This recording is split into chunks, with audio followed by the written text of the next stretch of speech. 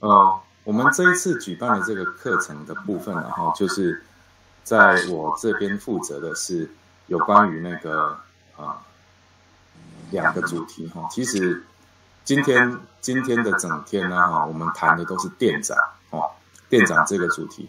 那呃，呃，第一个是他们每个人都签到，我要去哪里签到？哦，签到的地方哈是在那个你，如果你是用电脑的话，右下角那边有一个留言的那个符号，你你找找看，就可以进去里面签到。OK，那我就继续哦哈。那那个呃，因为我们既然叫储备老板学校嘛，其实它的限定范围啊，就不见得只是呃开店这样的一个范围。那嗯，所以我这边其实这个礼拜跟下个礼拜分享的各是各是一个主题啊，一个就是我们的这个店长，哦，使用店长学。那我自己个人本身的主要资历呢，其实也都是在啊连锁店这边的这个专业领域里面。那以我们连锁店的这个专业来讲啊，其实大家以后可以把它简单化一点的去看哦。有时候我们不用把问题看得太复杂。其实连锁店它充其量的话，其实就是两套的这个 know how 而已，就两大套。一套呢是单店的经营哈，意思就是说我就算是 seven 哈，现在有六千三百家店左右哈，那六千多家店，它其实是由一家店一家店组成的，所以它的第一套的这个。Know how 呢，其实就是单店的经营哈，每一家店他要怎么把它经营好，这件事情是他的第一套的 know how。那依此办理嘛哈，然后接着就把后面的这个每一家店呢，都按照这样的一个模式去经营。那当然这过程里面会不会有很多的因地制宜，必须要去做的变化？那当然有哈。我们想想看，如果以便利商店而言哈，从北到南。从东到西，哈，那这么多分布幅员这么广，哦，那就算我们台湾并不是呃面积很大的一个国家，那我们这样来看，北到南其实还是有很多消费习惯、风土人情上面的不同，东西也都是，所以呃，对于这么多的这些消费者的。购买习性不同的情况底下，我们今天在做这个商店的生意的时候，那当然就没有办法用完全相同的这样的一个啊服务方式，好达到相同的品质。好，大家仔细去听哦，哈，所有的服务方式呢，是我们能提供出来的。那所有的服务品质呢，是消费者的感受。意思就是说，如果要让不同的消费者有相同的这个程度，或者是相同的服务品质的感受的话，那我们提供的这个服务方式呢，就绝对不是制式化的。举例来说，好了，如果我今天在南部的话，哦，中南部的话，因为我本身是云林人啊，那在云林那边呢，其实讲台语啊是。反而是比较正常的。那平常平常讲话讲国语，或者是这个，当然现在也都蛮普遍的啦。那但是坦白说，如果你遇到一些比较年长的顾客，你跟他讲台语，反而是比较正常的。哦，我们就讲说以口语化的这种语言来讲的话，那你的服务就不一样。那当你全部通通都是用用用国语去讲。那甚至于呢，你很多台语是听不懂的，当然人家也不会介意哈。可是你有没有发现，我们提供的这个所谓的服务的品质，就是在顾客感受的部分呢，就会变成是有落差了哈。所以，就大家一定要记住哦，就是这个是非常非常重要的。其实有时候我们在学管理啊，学学学到最后就会发现说，最最能运，如果你全部把它拿来运用的话，你就会发现说，教小孩其实也是啊，哦，因为面对着以连锁总部的角度，面对的每一家店的店长，他的个性通通都不同，对不对？那他们对于呃命令的这种执行啊，执行度当然也都不同。所以连锁店管理里面啊，我们已经非常的习惯。你看哦，我们从北大门的商店对顾客，既然是这种状态，那相对的，我们呃从总部啦去对门市端的每个店长而言，那方式也当然就不能一样。所以我我常常会跟只要是做连锁店管理的这些干部们哈，我都会跟他们讲说，如果你现在有十家店，你要让十家店执行同一个命令的话，你可能要用十五种方法去沟通，这是很正常的。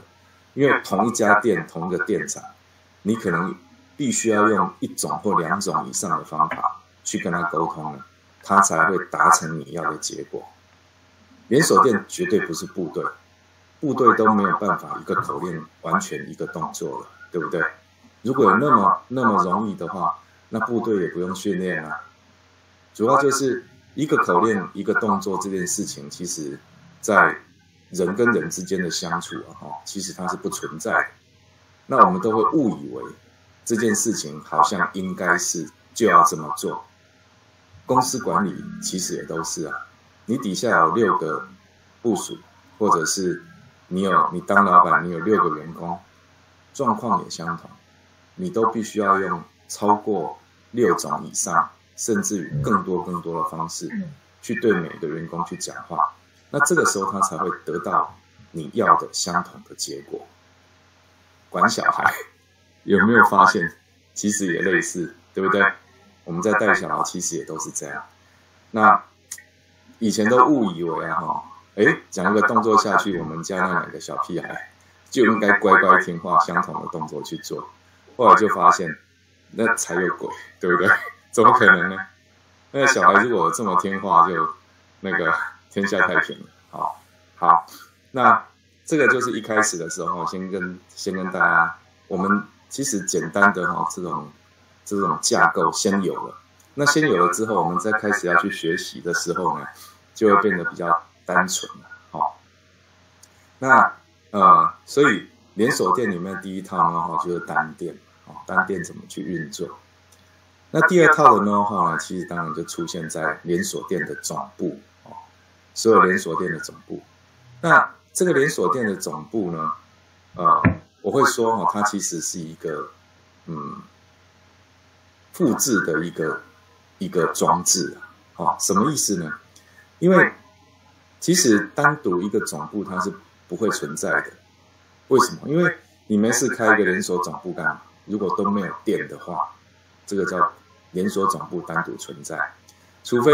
哦，你先连成立总部，然后后面呢，你要大量的展店，不然这个总部存在着也没意义，对不对？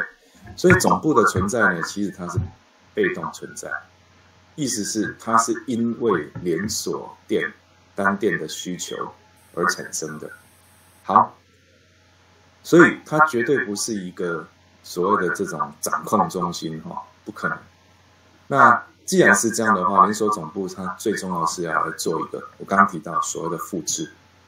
你你总部你必须要先形成一套的单店的运作的 know how，对不对？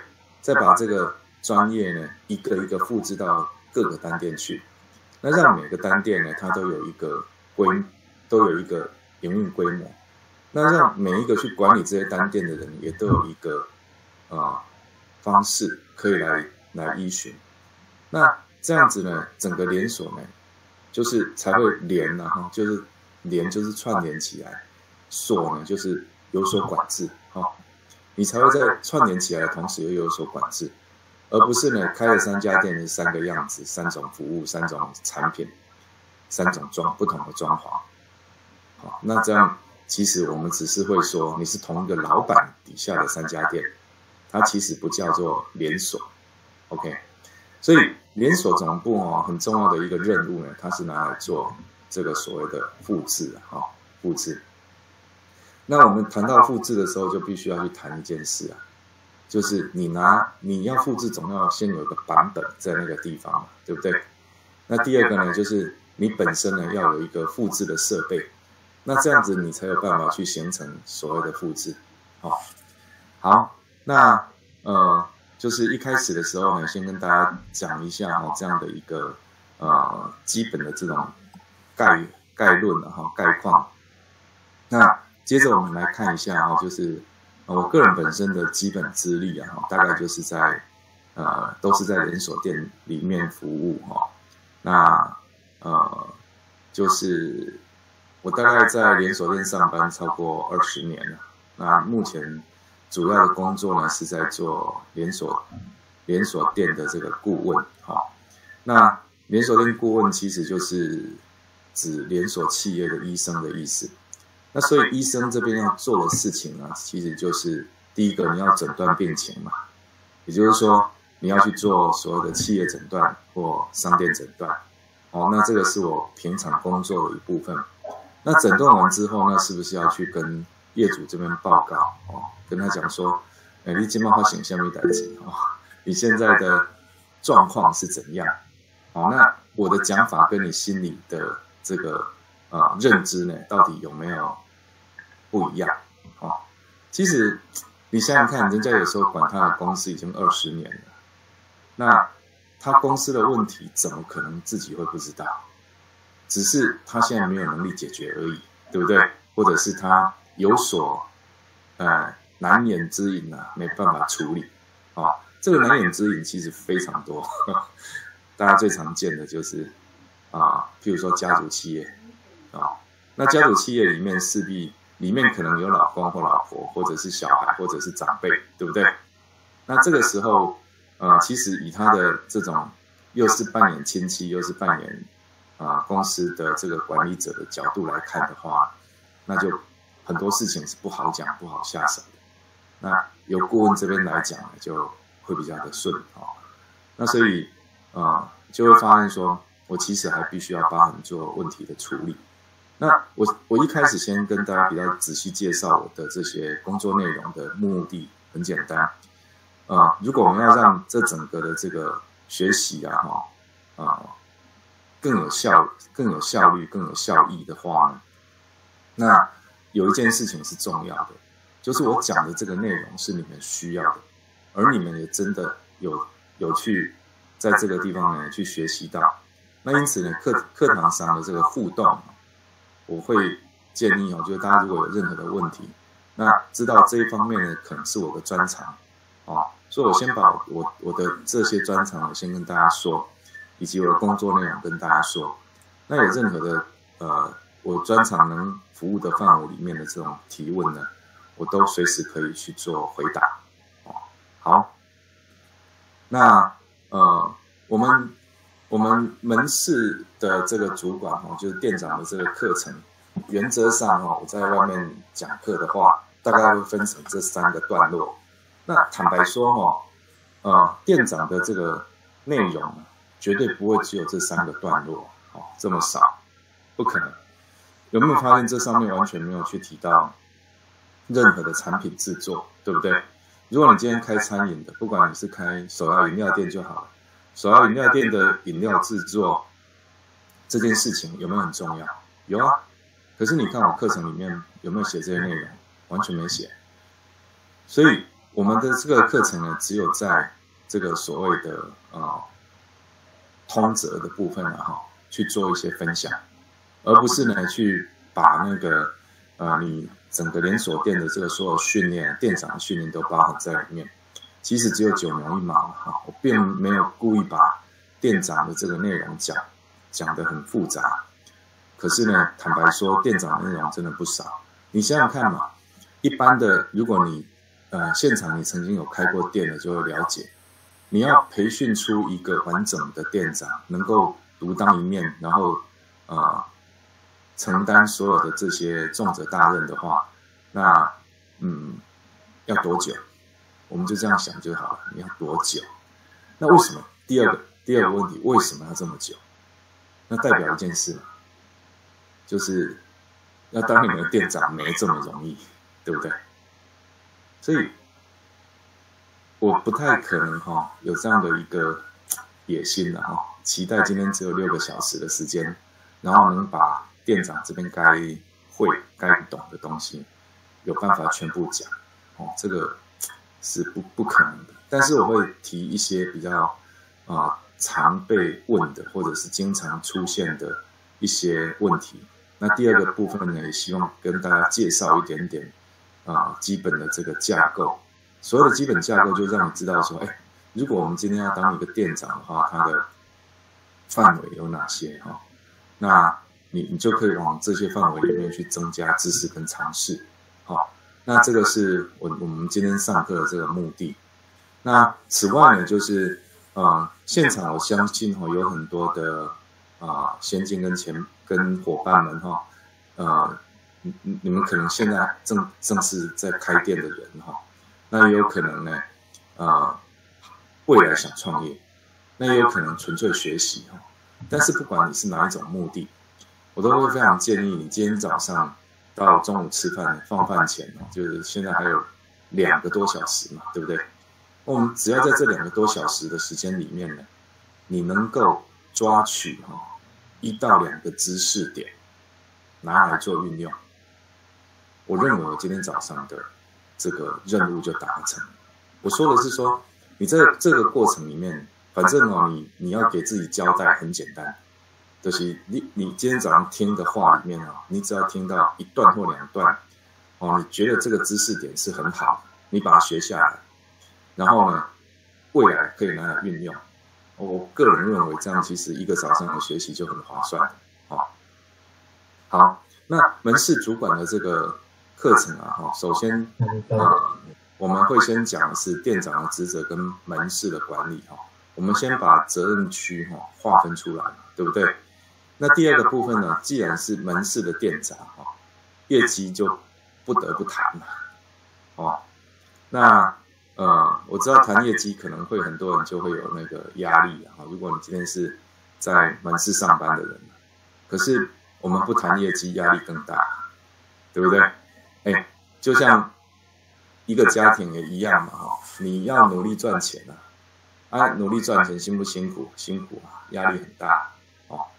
可是话说，如果你连要怎么努力啊，意思就是说，或许你现在想找工作，但是找不到合适的工作，或者是你想赚更多的钱，哦，那问题是赚不到这个钱的时候的那个。压力其实是更大的，对不对？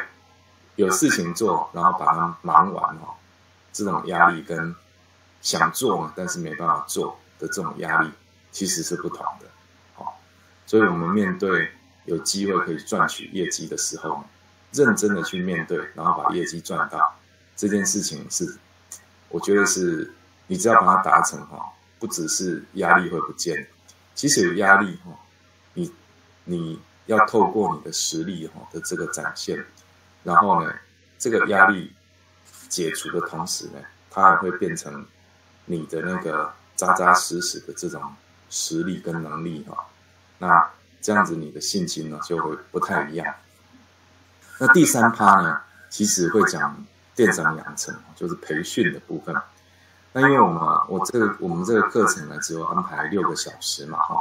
那六个小时的时间里面，就有关于店长的部分，我只安排六个小时。那这六个小时的时间里面呢，我尽量把可以讲到的部分呢，哈，我们都把它讲到。但是，嗯，或许只是会某些部分，我会挑重点的去点到，这样，好，好。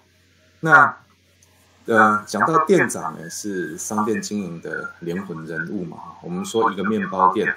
哦，或者我是以面包店当例子的哈。我们说一个面包店呢，或者是一个零售店或一个餐饮店，其实都一样。除了餐饮的这个产品品相哈，你要制作以外，其实呢，你还要去做到经营与管理哦，才能够真正的获利生存哦。哦，那这个所就是所谓的门市管理。其实在这一句话里面包含了三件事情，我不晓得大家有没有看到哈。首先，第一个事情是所谓的这个产品的制作，产品的制作。那如果你今天是餐饮业或烘焙业的话，你势必有产品制作这件事。可是如果你是零售业的话呢，在这个业态里面，我们不做产品制作。什么是零售业？啊，譬如说我左边，我随便拿一个东西，啊，可能大家看镜头会看得到，这是一个订书机，对不对？那这个订书机出现在文具行里面的时候，那它其实已经是一个完成完整的制品了，啊，那因此呢，就是它只是加上一个毛利，拿来销售。那这样的业态呢，我们称为零售业。那这个我在下个礼拜的课程里面会仔细再跟大家说明这个部分，哦，因为这个是在等于是在那个呃品牌设定的时候呢，我们来谈这个才会比较有有啊一个主题相关的哈，比较相关。但是呃，我刚刚提到嘛，门市跟总部它其实是不可能分开的哈。那因此也稍微做介绍。那属于零售业里面的，像文具店。或者是服饰业啊，服饰店，那还有像那个啊日用百货啦等等等这些非常多的，它只要进货的时候是商品的。好，所以简单的说呢，前面这一句话的前段这里讲的就是商品。你你的你的店的一个主要要卖的这个实体的商品到底是什么，对不对？那这个部分呢，就是第一个哦，你要看的。那第二个部分呢，我们要看的重点是还要做到经营跟管理哈，经营跟管理。那所谓的经营，其实讲的就是业绩的增创，业绩的增创。我们对任何事业都一样的，所谓的经营跟管理两个面向。很多人把经营管理、经营管理哈挂在嘴嘴边上讲，其实它是两件事啊。好，经营我。我们的定义，它是一个增创业绩、增加跟创造业绩。也就是说，你如果经营一个事业，你要怎么增加你的啊事业版图，扩大你的事业版图？好，那这个就是我们所谓的经营。那什么是管理？管理其实管理两大部分。第一个部分呢，是你的成本的管理，哦，成本的管控。那第二个部分呢，就是我们费用的管控。那成本就是所有制作，像好，例如说餐饮好了哈，饮料店，你你这一杯饮料里面哈，这一杯手摇饮料里面，你里面的内容物，还有外面的这个啊杯子啊、哈吸管啊、包装包装袋啊、提袋啊这些东西呢，我们就称为费用类的东西，对不对？那对对，这个都叫成本类的东西啊。那费用类的东西呢，就是店租啊、人事费用啊、哦水电费啊，那或者是啊一些装修过程当中的这些设备啊，哈的折旧摊体，那甚至于还有一些其他费用哦，因为你经营商店难免哦，一定会有像那个呃，就是你你虽然。不卖沙拉托，但是你会不会有沙拉托？会有，会有抹布嘛，或者菜瓜布啊、扫地用的用具啊这些，那这些也都是要花钱的，哦，这样你就成为其他费用。所以这样你就知道说，所谓的管理呢是控制成本跟控制费用，这两项能做到其实都是减亏哈，减少亏损。好，那讲到这边你就知道说。当然，这一句话里面，它其实包含了就是三个要素，一个是产品啊，产品，产品要像样，对不对？不然怎么卖得掉？那第二个，你像样的产品，你是不是要想办法去把它推广出去？哎，产品不是生产就好了，产品做出来的目的是要卖掉，对不对？如果你只是做了一堆产品堆在那里，不好，你真的要把它卖掉才有用，所以是经营哈。你要去推广、推冒出去，然后呢，接着你要去管理你的成本，哦，跟你的费用，那这样才能真正的获利。所以你看，单单纯的一句话，哈，有没有一点学问在里面？还是有的，哦。那这个就是所谓的这种管理啊，就是管理，其实就是所谓的门市管理。因此，我们今天谈的这个内容，主要是做门市管理，哦，门市管理。那我们搞清楚今天的这个谈的结构的时候，这样就知道了哦。那店长主要工作就是做门市管理嘛，对不对？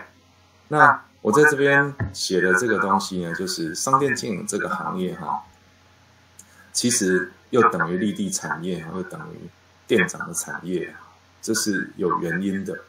我们讲说开店呢，就是选对地点就是成功的一半，对不对？哦，所以呃，如果你曾经有听过的话，就不是不陌生哈。所谓的开店成功的原则里面，第一个原则就是 location 啊，就是地点；第二原则呢也是地点，就是 location，location，location；第三个也是地点，意思就是选对地点就是成功的一半啊。那成功的一半几分？五十分，对一半不就是五十分吗？那你只有成功一半，这样有及格吗？听说不及格，对不对？只有五十分，那另外那五十分呢，来自于哪里？哦，就是店长。所以商店这个这个经营啊，等于立地产业，等于店长的产业，原因就在这里。那用一个最简单的比喻来看好了，好，实呃十二月份然后还会十二月十号呃十一号那时候还会有一次的这个连锁加盟展。那如果有关注的。啊，伙伴们呢，可能呃也会知道这个展。那这个展其实它是可以那个免费锁票的哦，你可以 Google 一下，可以拿到可以免费锁票进去看。那因为现在疫情啊比较缓解啊，其实这些所有的这些展览现在都哇人挤人，很可怕。要去看的话，建议你不要礼拜六、礼拜天可以的话抓平日的时间去看。那它通常是礼拜五六日一啊，所以。可以礼拜五或选择礼拜一去看，这样人会少一点。像这两天呢，在南港世贸那边呢，就是年度哈最大的那个那个咖啡啊、酒啊，还有那个茶类的这个展览。那当然也有一些啊相关的餐饮设备哈也有展览。那这个展览其实蛮盛大的哈，真的有有机会可以去看一下。那只是说真的很挤，人太多了，人太多了。那每年呢，我我去看展，这个也提供给大家做参考哦。因为因为这个在我们商业经营里面其实是非常重要的一环。你不管看这一类的这种展，或者是说看连锁展，我们通常在看三件事，好看三件事。第一件事情呢，就是你可以去观察一下哈，今年整个来设摊的这些那个店家。哦，以连锁店来讲，就店家；那以其他行业的话，可能就是厂商别嘛，哈。你看一下，大部分的哈，就是这些厂商的这种占比是什么？比如说店家，你就可以看一下，哎，哦，奇怪了，今年东西，今年东西饮料店哈，啊，这样，今年都是哪一类的店这样居多？哦，那你就知道说，那个现在哈，大家都要开什么店，都要做什么东西，这是整个面向的。第二个部分，你当然可以看一下有没有什么新的啊，新的产业、新的呃产品或新的营运方式呢，在进行当中，对不对？第三个呢，可以看一下一些你耳熟能详的这些啊连锁，或者是说啊你要看的那个展的那些品牌，他们有没有推出新的服务或或商品来？哦，那。这个就是一个最简单的一个看展的一个方式哈啊啊，其他我觉得是看看走马看花走走这样而已。哦，那好，那我们我们会说又是一个店长产业哈？为什么？因为你你一个一个电脑的成立，随便你要两百万，对不对？那嗯，两百万可以买什么车？可能大家心里面都有你自己想要的车款，那但是简单的说哦，两百万的车已经是不错的车了，哦，至少还买买不起，对不对？那我们这样来看哦，那一一台两百万的新车，那这个什么叫店长产业？就是如果在你的品牌里面呢，哈，这个店长连店长资格都还没有考取。他都还没有拿到这个店长资格的话，呃，甚至于他不熟练的话，就就代代表什么？他其实是还没拿到驾照，或者是他根本没上路过，不太会开车的。哎，你就让他开着这台新车开出去，你觉得这样好吗？哦，那如果你觉得这样不好，那为什么我们又会让这些完全不熟练，甚至于连店长的基本的考核都没通过的这些员工呢，就把你的一家新的店开出去？哦，是不太好？哦，就是给大家做参考。因此呢，店长绝对哈是商店经营的灵魂人物了，好，那店长不仅要会做销售、制作商品，还要从事内控、人事管理，甚至于单店行销，无所不包，对不对？那那个开店嘛，我们也总是要那个看一些那种可爱的图片，对不对？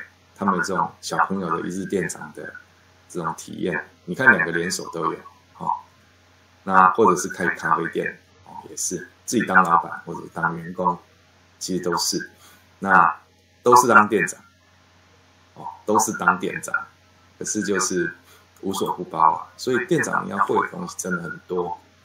那我们再来简单看一下哈，既然店长要会的事情这么多，那我就把。店长的这个职务跟权限啊，大概做一个整理，好，夯不啷当哦，随便这样列一列都这么多条，对不对？哎，相当多哎。你看，从门市营运管理项、人员管理项跟一般管理哈，我们就把它简单区分成三大块来看的话，你就会发现这么多种主题。那这每个主题其实都是重要的哦，都是重要的。那这个主题是已经是被整理过。已经是被整理过，然后呢，再把它列进来的。譬如说，营运预算与目标的计划，有没有发现？单单这一项，我们其实下午要讲的，就业绩嘛，对不对？那发注技巧与盘差管理，发注技巧讲的就是发注哈，就是指订货的意思哈。订货技巧跟盘差，我们是在在做商品管理，对不对？那第三个，放贩卖促进活动执行就犯促嘛，哈。啊，第四个就是商品管理、行销推广，那，这边就是商品管理、行销，这个跟这里的犯处活动是不同的哈。一个是 promotion，就是做那个呃 sales promotion 哈，那这个地方其实是做那个商品的管理。商品管理就是啊，如果以单店来讲，就是所谓的定金消费存哈，订货进货、销货存货那些的这种管理。那你公司端的商品管理哦，比如说商品结构调整，那这个讲起来听起来，你你就觉得商品结构调整，基本写的贡献对吧？感觉哈那个有点深度哈。其实我们也没有把它，不用把它想那么难了，它就是换季嘛，就这样。你就想平常的换季，它其实就是一个商品结构调调整。可是，一整年里面不是只有季节转换的时候，我们才要做商品结构调整，对不对？啊，我，你像你想想看嘛，如果我今天是服饰业，在这个时间点我去卖那个短袖，对吗？好像也不对。如果我在夏天的时候卖那个大衣长袖，那你不是很浪费你的那个销售机会嘛？对不对？哦，所以这个就这个就是一个简单的所谓。啊，商品结构调整，那更不用讲说很多的这种商品结构调整，它出现在不同商圈的时候。我们刚刚讲，从北到南，我常常会举便利商店当例子的原因哦，有两个。第一个呢，就是我以前自己也是便利商店这个行业的人，哦，所以有时候在，我并不是在讲别人啊，其实那是在骂自己嘛，对不对？讲。因为你数落自己给别人听哦，基本上就不会比较不会有所争议嘛。啊我也是这一行的人，啊，我并不是在轻视我们做这一行的所有的状况这样哈。那第二个部分呢是便利商店哦，是大家共同熟悉的商店，哦，现场我应该是每个人呢都有去便利商店过的经验，对不对？可是如果我今天讲别的行业别的时候呢，或许哦，譬如说饮料手摇饮料店好了，我我到这个年纪，我还还会去买手摇饮料哈。其实的主要的原因都是出在哪里？一个呢，可能是小孩想喝；另外一个呢，就是我就是去看见证店啊，去看这个新行业，或是这个就是工作的关系嘛。我自己其实不太喝的，坦白说，哦，那那你说，哎，为什么你特别讲这个年纪？我我已经五十几岁了，我已经快快快六十岁了。那我们看这个年纪会是手摇饮料店的主要的消费族群吗？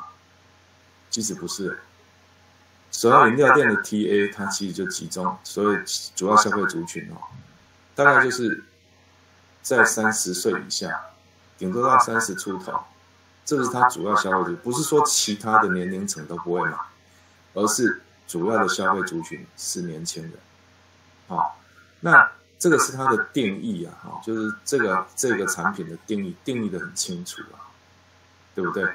那这个就是它的。它的产品的这个范围好，那我们这边啊，我们就不要再一项一项细项呢，每一项这样去去讲哈，因为时间上面呢也是不不允许。但是我主要跟大家讲的这几个下来，目的很简单哈。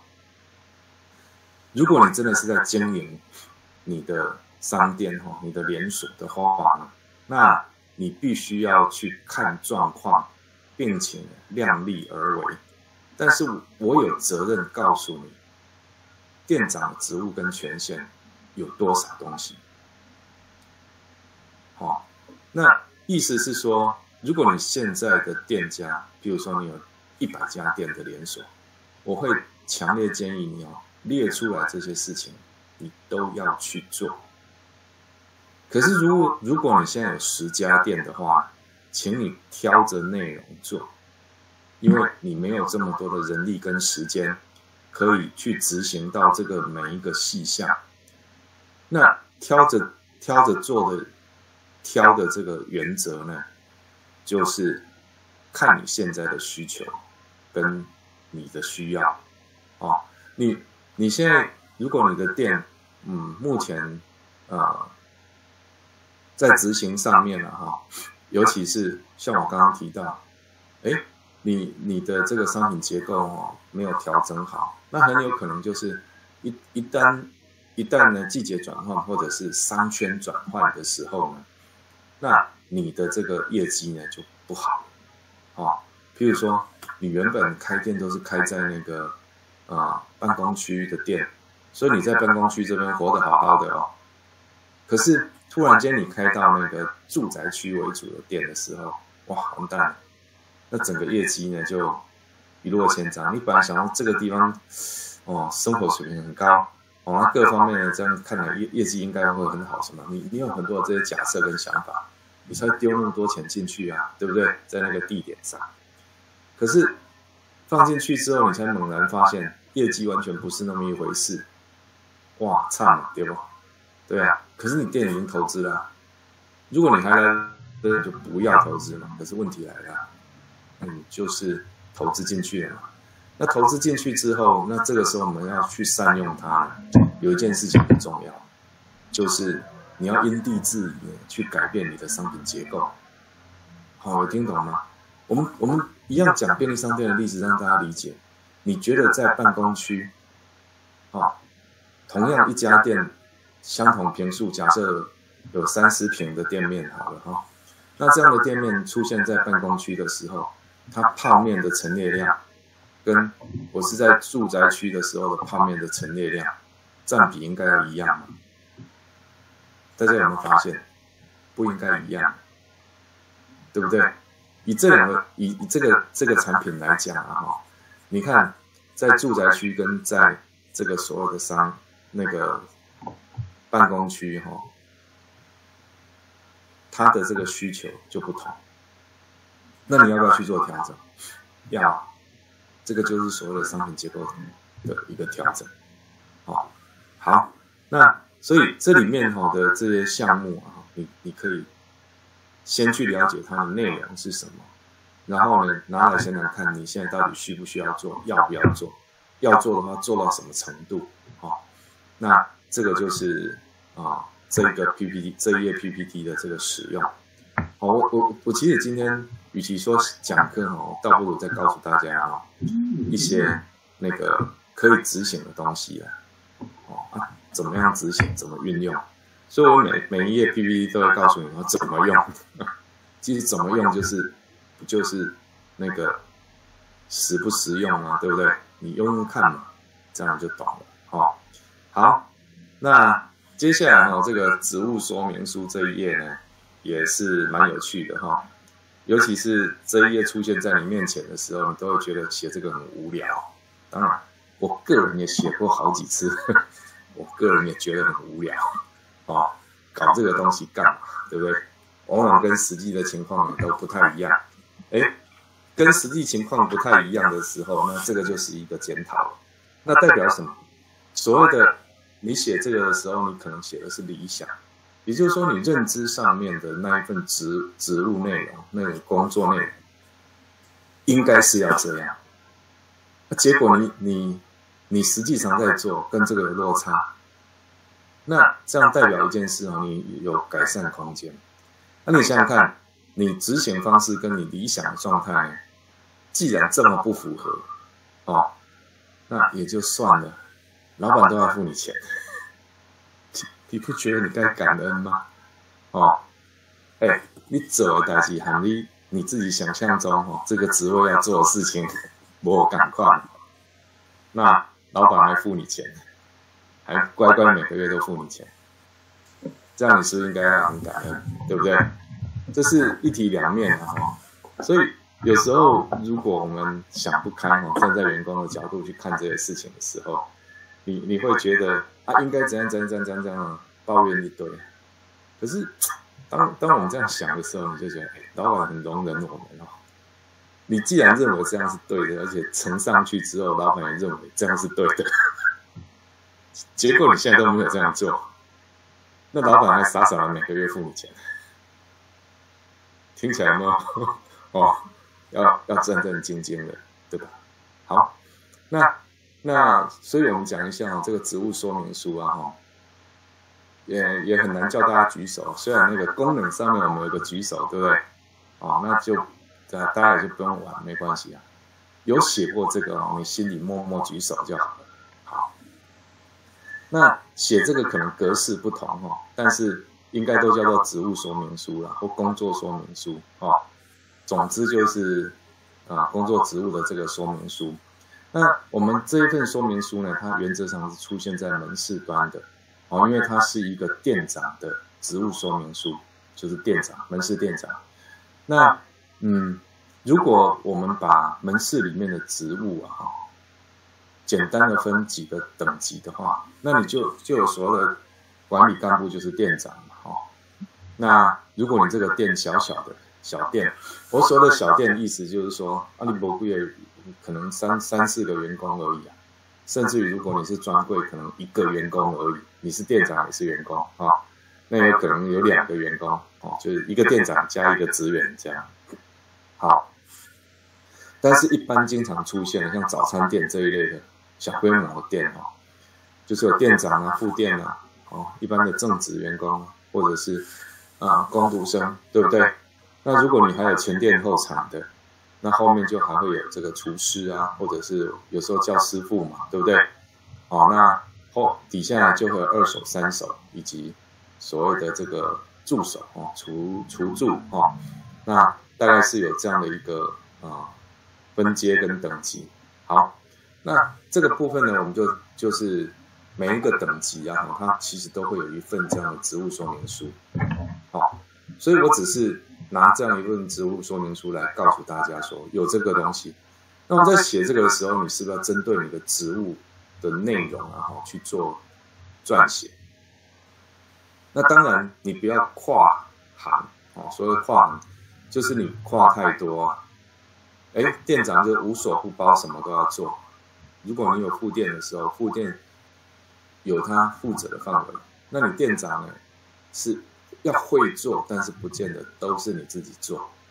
有听懂哈？店里面大小事情，店长都要会做，但是呢，请你不要事必躬亲，因为店里面还有其他的人啊，你应该要去负责哦，别人没有办法做的这些事情，那由你店长来做好。于是我们会有各个等级的这个职务区分出来。那这一页里面我写的一一点东西啊，哈，主要是要提醒哦，店长的第一个是店长的主要的工作内容到底是什么，也就是他整体目的里面，第一项呢，他是要做门市业绩达成，好，门市业绩达成，这个是有顺序的，总共有四项，总共有四项，第一项是业绩达成，第二项是完成。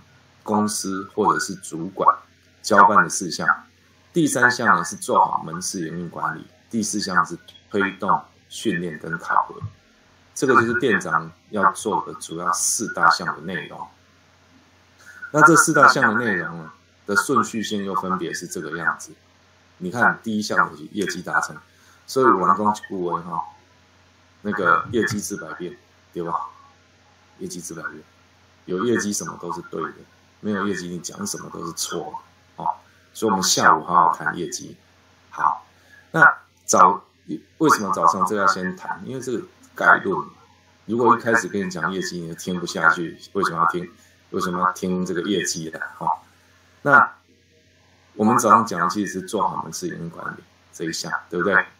那第二项为什么跳过我没讲？我哪讲是主管会交办什么事情和你做，对吧？听懂吗？这里公司跟主管交办给你的事项，我没办法讲啊，哦，因为那个就是你的老板要叫你做的事情嘛，就不用啊。哎，可是顺的是第二项哦，这一项哦，我会用那个白话翻译，叫做不要白目，白目听得懂，卖北巴，要长眼，这样我听懂，要长眼，意思是第一项你业绩有达成哈，可能有免死金牌。那第二项呢，就是不要白目。现在人家叫你做什么事情，怎么样？先做就对了。做完了之后，你已经做完了，好，去跟老板回报说：“老板，我做完了。”的时候，这个时候你才来跟他讲说：“老板，这件事情哈，如果下次我们这样子做，哦，这样这样，好啊，用这种方式来执行。”你会比会不会觉得比较好？哦，那那个老板一听，哎，有道理哦，哦，好，那下次我们就这样做哦。嗯，没办法，你选那没办法。啊，这时候你就要回答一句哦，老板英明。好，这样太狗腿了。可是简单的说啊，哈，就是这是第二个重要任务，就是就是主管交办的事情。你一定是要第一顺位去完成，回头再来跟他讲说要怎么做，而不是说你就是点子很多，不管人家跟你讲什么，你就说啊可不可以不要做？啊可不可以这样做？啊可不可以怎样做，啊，那个我觉得有时候我们我们对于那个呃一些祭奠的一些方式啊哈，你可以去做。排除或者是去做改善，这个可以可以有，但是呢，呃，你先依着原本的方法呢去做做看，然后做完之后，或许你就会发现说，你原本的设想是不对的，这样了解吗？因为我越来越发现哈，这个完全不是谦虚哈，这个是当你有一些人生的。阅历跟经验，甚至于你自己有比较丰富的这个做事经验以后，你才会发现，笨方法通常是最简单的，好，往往都是这样，笨方法，可是就是最简单的。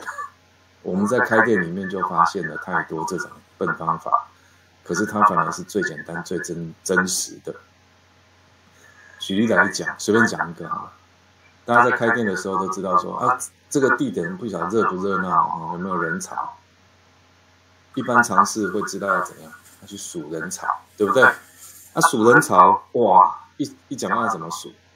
听说要在那盯一整天呢，盯一整，什么叫盯一整天？就是早时啊，跟暗时啊，你爱底下卡一竿，哦。嘴巴讲的时候，因为我们现在坐着，好在室内，你不觉得这样有什么辛苦？今天太阳挺大，对不对？如果这个时候 叫你去站一天，你会不会觉得开心的胸膛胸膛？什么意思？你就开始会想说，那我不要用这个咔咔咔这样一个一个这样按啊，啊，我不要去按这个计数器啊，我可以上网去查，哦，啊一查结果发现说。连，户政机关呢都有登记资料啊，什么这些，我告诉你，这就是完全走到误区、错误的误啊，误区去。那些资料如果能拿来当成我们开店的参考的话，那大家就都省事，大家都发财了，哦。意思就是说，那些呢，你连看都不要看，看了反而会误导，反而会误导哦。你心里就会有个阴影，一直觉得这个地方人应该很多，那是登记的户口人数，这样知道吗？第二个，就算他真的有住在这个地方，他会是在你开店的时间出没吗？譬如说你要开一个咖啡店哈，那你又想说在西亚早餐我不想做哈，我十点才开始开就好了，啊，然后你觉得晚上八点以后还还会有人去喝咖啡吗？不会。所以你打算七点多八点你就要打烊？那你想想看，我登记户口在这里，我有住在这里，那我早上八点可能我就出门上班了。那你现在一般上班族回到家，哦，八九点，往往很正常。你在上班，你下班的时候顺便在外面吃饭了，吃完回来，就很正常。那请问一下？这个人是住在这个商圈里面，没错，可是他跟你的营业时间完全没相干呢。那这个人你要数进来吗？当然不能数进来，这样懂了。所以很多的资料哈，其实那个你是没办法使用的。什么是最笨的方法？太阳这么大，可以的话你就开车水带足，对不对？太阳眼镜戴着，帽子戴着，哦。可以的话，就坐在车子里面数；更可以的话，坐在对接的咖啡店数，是不是更好？对不对？就这样啊，是最简单的，去按去数，这才是反而才是最最笨，但是是最简单的方法。好，好，那第三项就是做好门市营管理，第四项就做训练。所以有没有发现哈？我们在这个地方在列课程的时候，这里是不是门市管理？这是业绩？这里是在谈养成训练，就是职务内内容里面的哦，其他三项，对不对？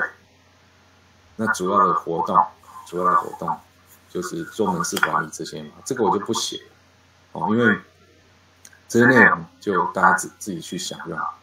那一般看不懂是行政程序是什么，就进这个叫行政程序。你只要是要有一些文件产生的，不管是在电脑里面的文件，或者是实际上文件产生的，这种东西我们称为行政程序。内部关系处理就内部关系，内部关系包含你跟店里面的员工，或者你们一样同一个品牌，店跟店之间，好，这也都是内部关系哦，哦。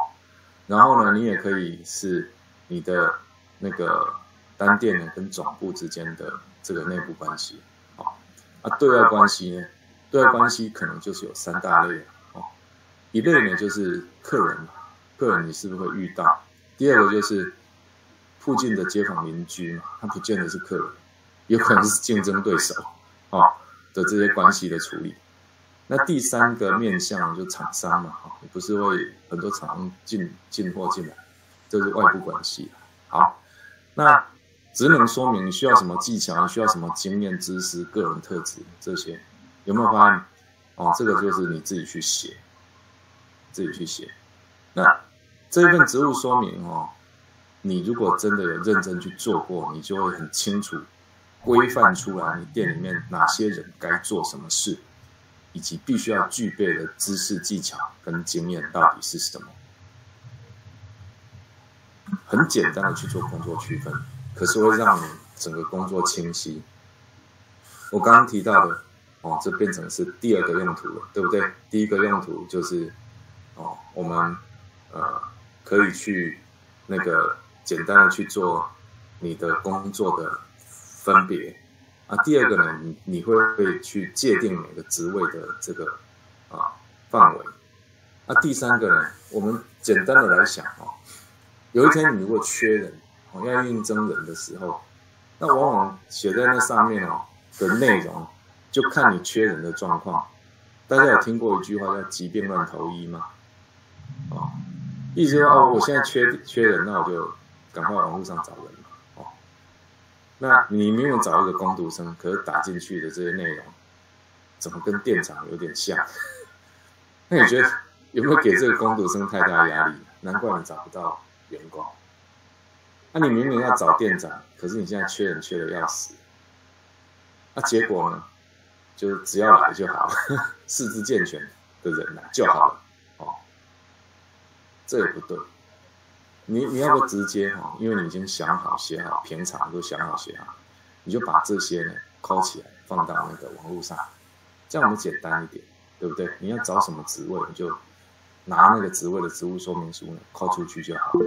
哦，好，那接着我们看一下哈。这边有所谓的主厨专业能力哈的一个重要性分析，因为我们刚刚讲，如果有些店哦，有时候的前店后厂的话，那就相对的也会有这个所谓的主厨哈，他啊要去讲的这个内容，就后场。那主厨的这个重要专业能力里面呢哈，首先第一个就是知识能力啊，知识能力。那知识能力指的是产品知识，有没有发现啊？这这里面我们这样看字面看过去，你会发现说，它叫主厨哎，可是呢，对于产品的部分只有一个产品知识、产品制作，哎，不可不呢，其没有其他东西了。有没有发现？如果你只是会做产品跟懂这些产品的知识，你是当不起主厨的。你要当主厨，你要会的是其他的东西，才叫主厨。所以，如果主厨只是在操作，这种主厨呢，我们业界有一种讲法，叫做掏腮胡了。掏腮胡，信不信掏腮胡？他只会做，他其实都是钢男做工。我没有贬低的，我没有贬低他的他的价值。如果他只是会操作，啊他如果厉害一点点，他也会创作，也就是他会创造出出一些新的菜。而不是说我去外面吃到什么东西，然后回来说啊，这个马上走，那是魔法。所以创作哈，是你有办法创创造出新的菜色来啊。那这一类的主厨，我们称为研发研发主厨，对不对？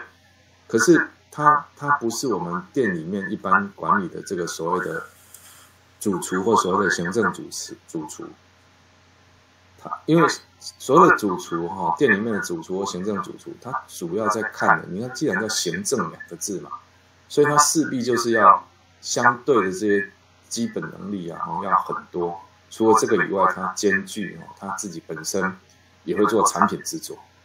反过来是这样，他是要会很多这些其他的东西，可是要兼具制作跟产品跟一些产品的相关的知识。好，这样有没有发现说，其实你你从一般的这个二手，二手其实它就是专注在产品知识跟产品制作这两块，是它的主要内化。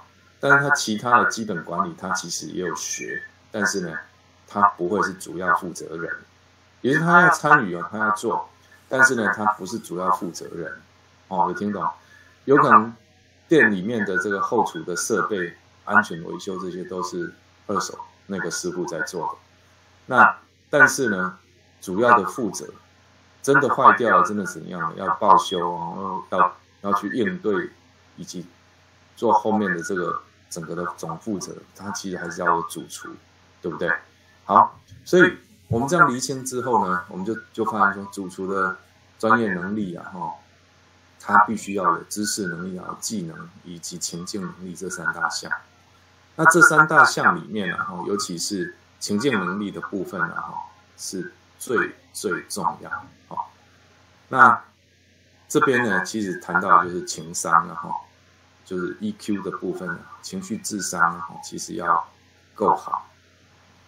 为什么？因为后场的工作环境一般是不好的，哦，所谓的工作环境就是可能会热，对不对？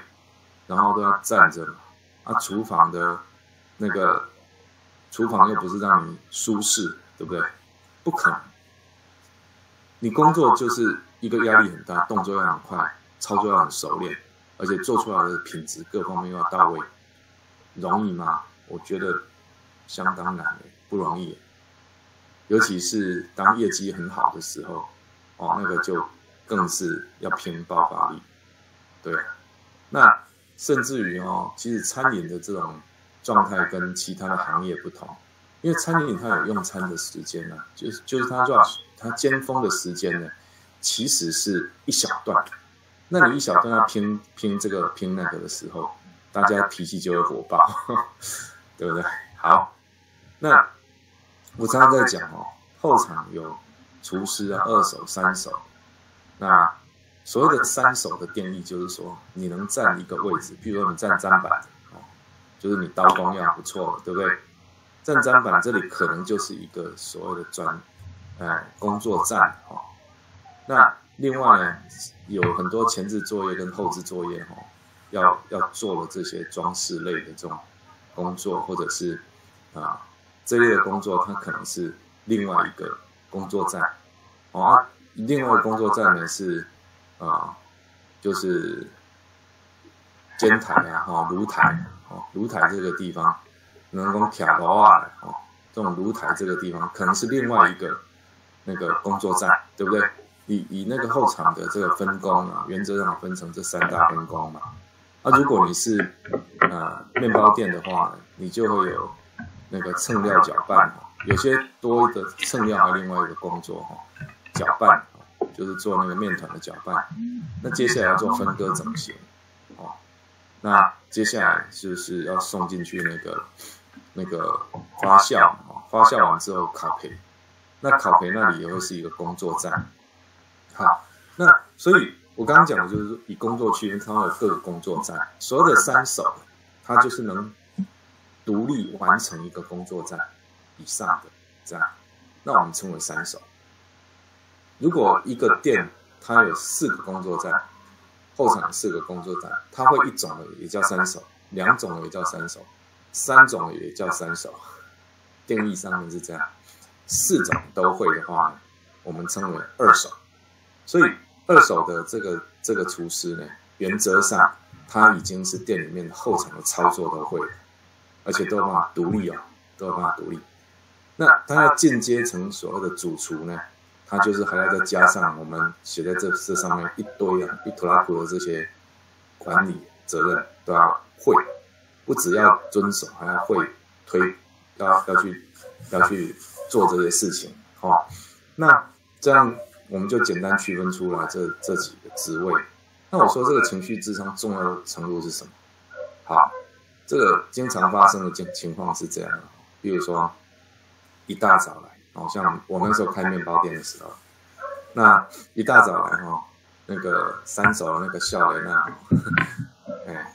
下人那师傅啊，哈，一来的时候你就听冰冰冰冰，好在哦，五六点，他们五点就来上班了，哦，五六点然后冰冰冰冰，然后发生什么代志？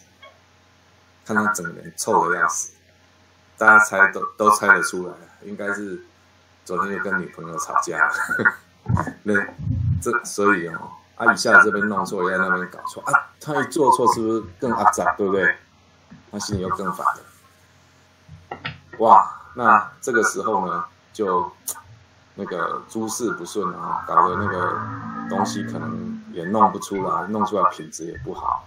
这时候这个主厨就出现，然后过去跟他讲说：“不要不要哦，抽根烟哦，抽烟不好哦。”可是这些师傅他们常常也也会抽烟，哎，这个是一个很好的沟通方式。大家知道为什么吗？因为有抽烟的人哦，他其实只有在抽烟那个时间呢，会回到他自己的情绪状态，所以对他来讲是一个阻断，阻断两段的这个时间。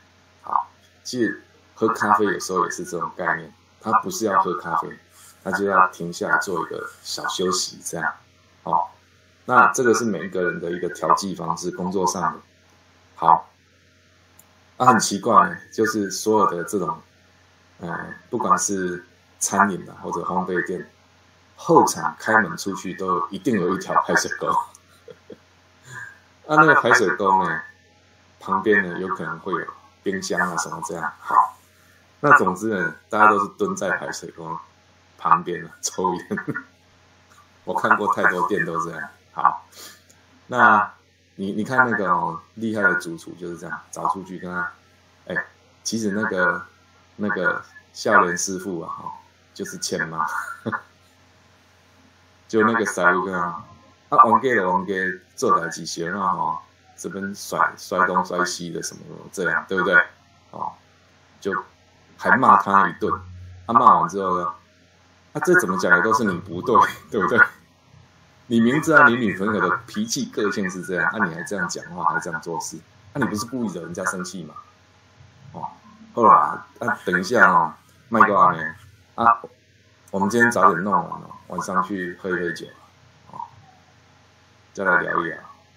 啊，等一下回去工作，嗯，能够下岗下塞啊什么这样，就是再训他一顿，你知道训完之后回来就乖了，然后就好了。其实啊。他们在操作的这些人哦，有时候就是当你懂他的时候啊，他就会顺，他就不会觉得说这件事情他独自在承受，对不对？他并不是做不起，就是并不是体力上面的这种啊没有办法负荷，能力上没办法负荷，是情绪上面啊，觉得没有人懂他这样，啊，所以以这个。那刚才提到的这个这个那个主厨啊，这样要训他一顿，他代表主厨懂嘛，对不对？哦，所以他心里就觉得他舒服的，终于有人懂我。你看就是这样，小孩子对不对？好，接着看，如果今天是二手出现这种情况的话，我告诉你，他不会这样，东西不好，大家只会看到他脸很臭，代表哦，以可能。跳林冒昧啊，被他老婆骂，然后呢，那个心情正在不爽当中哈，啊，哎，不要惹他。可是呢，他今天的所有的工作呢，原则上都还会该什么时间出来就什么时间出来，然后呢，出来的品质嘛也不会跑掉哈，啊，别招奸体。但是呢，今天不要惹他，下班他就会那个哦，我走了啊，就走了。大概呈现状况会是这样，他隔隔一两天他自己好了，哦，基本上不需要人家去劝劝他这样。可是你知道吗？那个为什么他叫主厨？他很悲催啊，什么意思呢？哎，有可能他跟他讲的时候，他心里正在淌血。为什么？因为听说他老婆昨天呢跟他提离婚。那你觉得 男女朋友吵架比较大条，还是老婆提离婚比较大条？哦？那当然这是开玩笑哈，可是简单的说呢，就是他自己要处理好自己以外，他还要有办法去处理好别人。那这个就是情绪智商哈的几个基本层次，一个是你自己都处理不好，一个是你自己处理好独善其身，那另外一个呢，就是你自己能处理好自己以外，你还要兼善天下哈，就是整个的这个啊都要有办法去处理别人，这样好。那呃，我我们我们这个今天的课程啊，哈，就是早上，呃，因为刚好讲到这个段落哈，因为接下来的是下一个段落哈，那我想我想现在十点四十二分嘛哈，给大家休息十分钟，好不好？那大家大家可以起来活动活动啊，还没有吃早餐的 早早餐拿过来一边吃啊哈，那那个就是我们十。十点五十二分了哈，准时回来，好不好？那我们呃早上就会休息一次了，下午应该也是休息一次，这样的一个方式，好来进行。好，那请大家休息一下。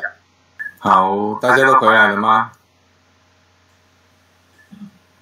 ？OK，我呃，坦白说我，刚才一开始的这个呃讲述有关于店长这边哈，会先跟大家提一些概念的哈，然后呃进行的速度哈，我也刻意给他稍微放慢哈，因为我知道在 我们社大这边的这个啊储备老板学程里面的啊学员伙伴的这个啊一些基本的。背景哈，那因为我们背景呢，可能不见得每一个人都是相关的哈，相关行业里面，所以我我会做做多一点点的这个呃所谓的呃行业别的描述，好让大家进入这个情境。那接着呢，我们就呃时间上面呢，我我就会呃会比较快的时间哈，来跟大家直接切入主题哈，去谈一些啊内容。好，就是主要是切入那个内容的这个部分。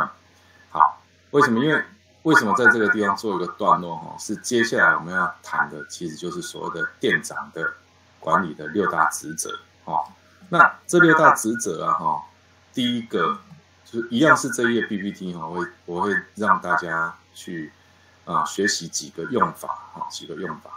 那第一个呢，就是这份 PPT 的这张 PPT 的这个内容的整理。形成了哈，当然这每一页都是我今天的所有的 PPT 都每一页都是我自己写的，哦，就是没有去做任何的这种，哎，抄袭啊哈，或者是参考。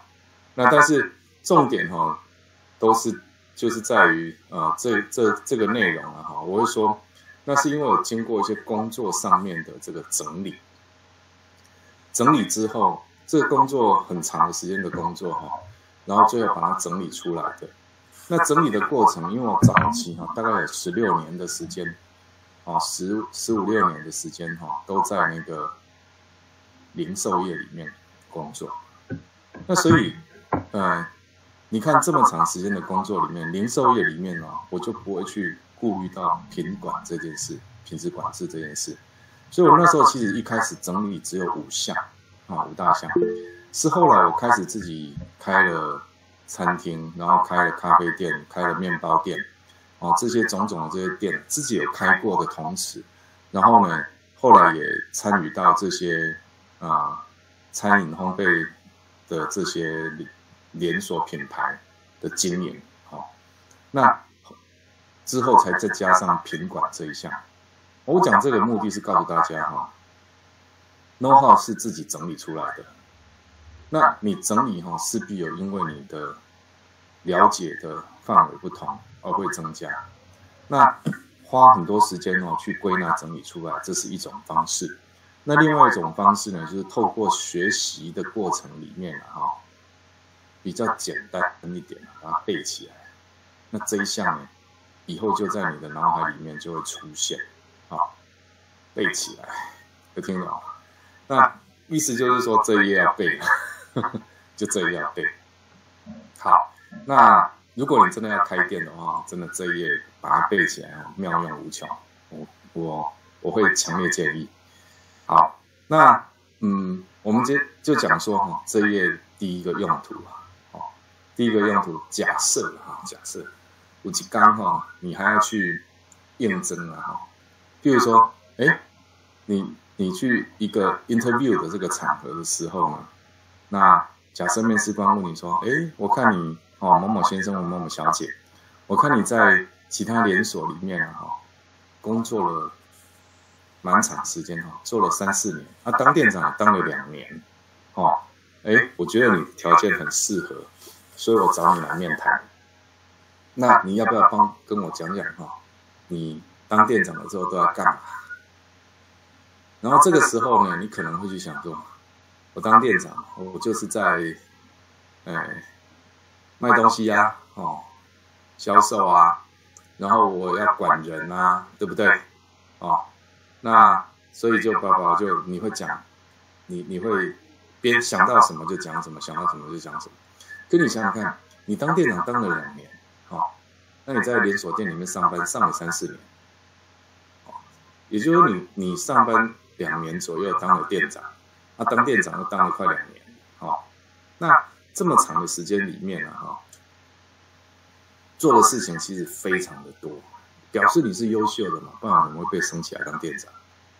你又是优秀的，他呃又又有经验，可是真的要你讲的时候，你不见得有办法完整的去讲，啊，这是第一个情况啊。那假设我们反过来，你真的有背了一下，面试官问你相同的问题，哎，某某先生、某某小姐，请问一下哈，你在当店长期间，啊，你都在做什么？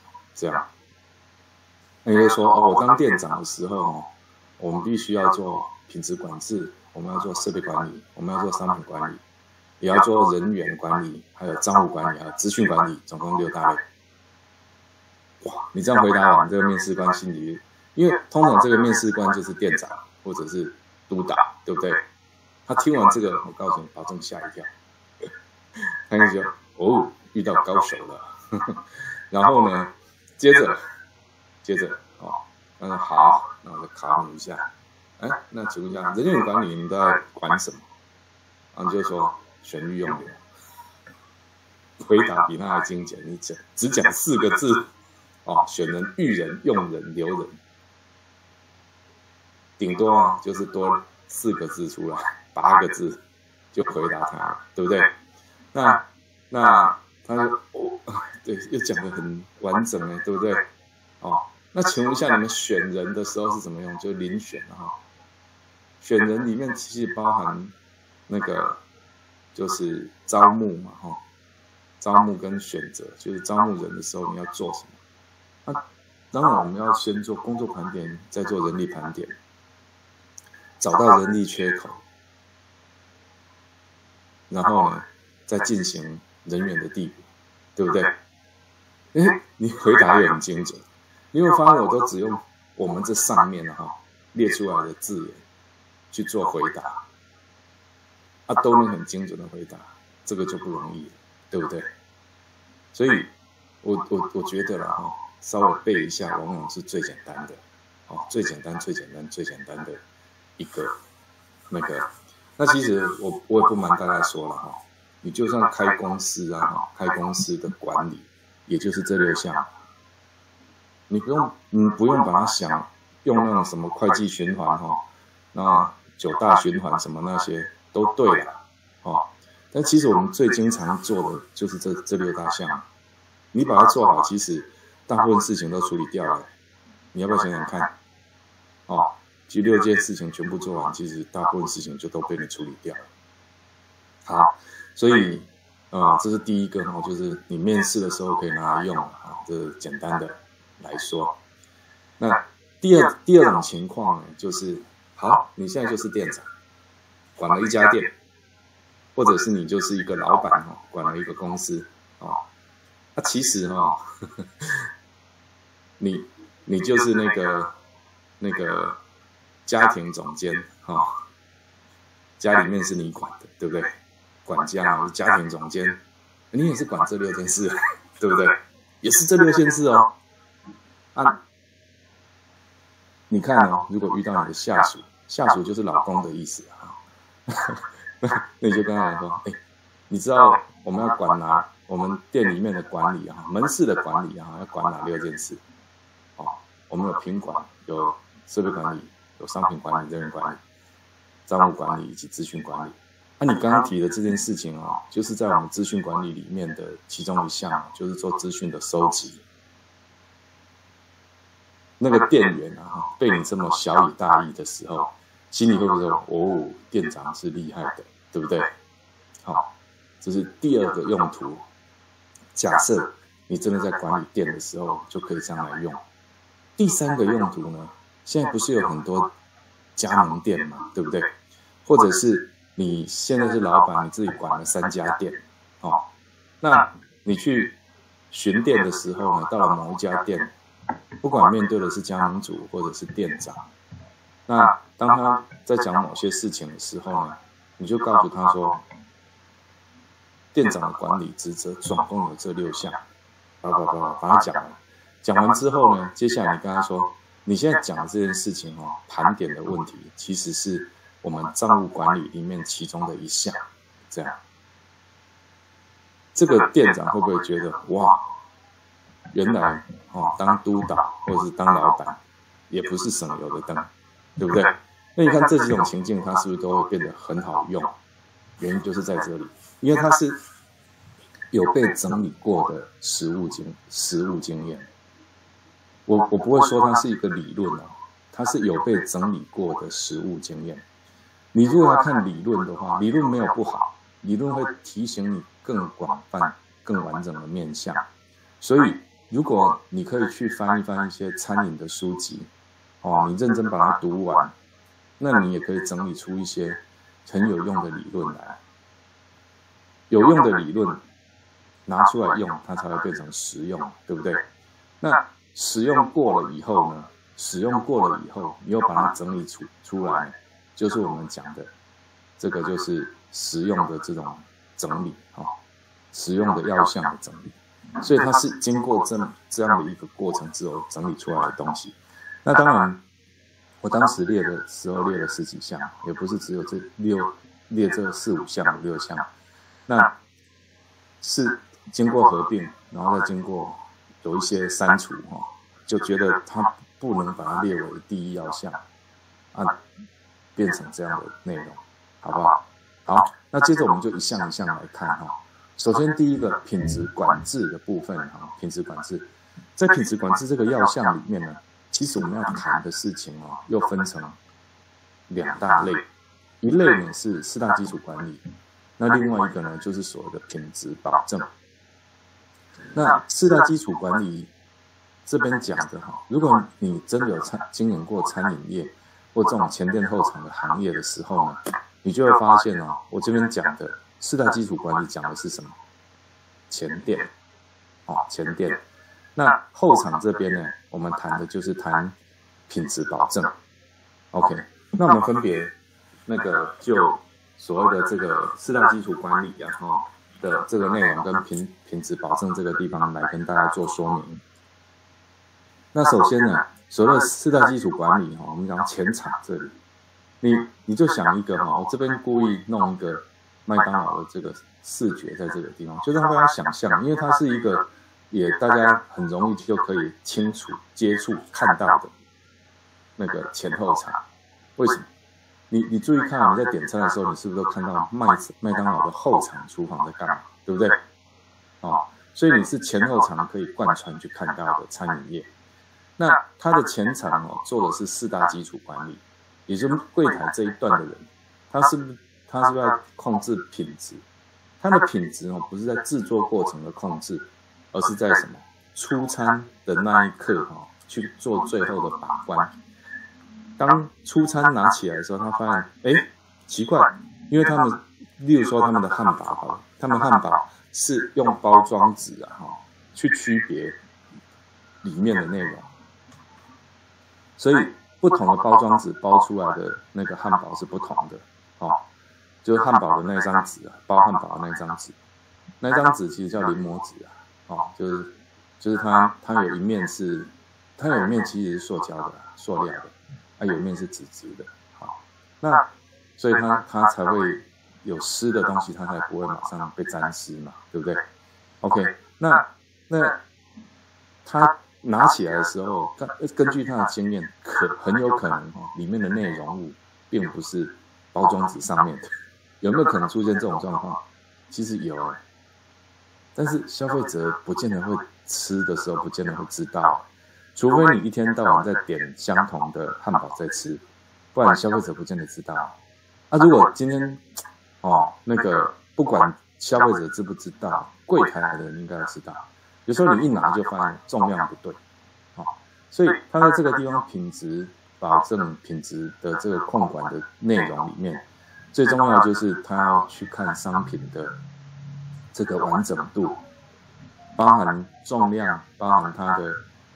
分量，哎，就是重量、分量感官哈，就是它的分量大小，哦，你譬如说同样一个面包啊，重量是一样的，可是它的膨胀率不同的时候呢，它看起来的这种外观的样子是不是都不一样，对不对？所以重量啊、外观啊，甚至温度啊、哦、摆盘啊这些，它通通都要去看。它的品质呢是来自于这一段，这样了解好。那接下来就是所谓的服务，当然就是指他的服务态度啊，那呃跟客人的应对啊这些，甚至于，哎，这个服务不是不是只有针对客人哦，这个服务还包含针对员工跟员工之间的互动。员工跟员工之间的互动呢，顾客会不会感感受到？我告诉你是完全感受得到。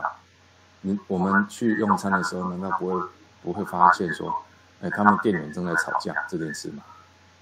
一定会发现。他们如果正在吵架，或者是店员跟店员之间在不爽，那个都一清二楚。哦，或许你你会忽略省略了，可是经我这么提醒，完蛋了，以后你们都会注意。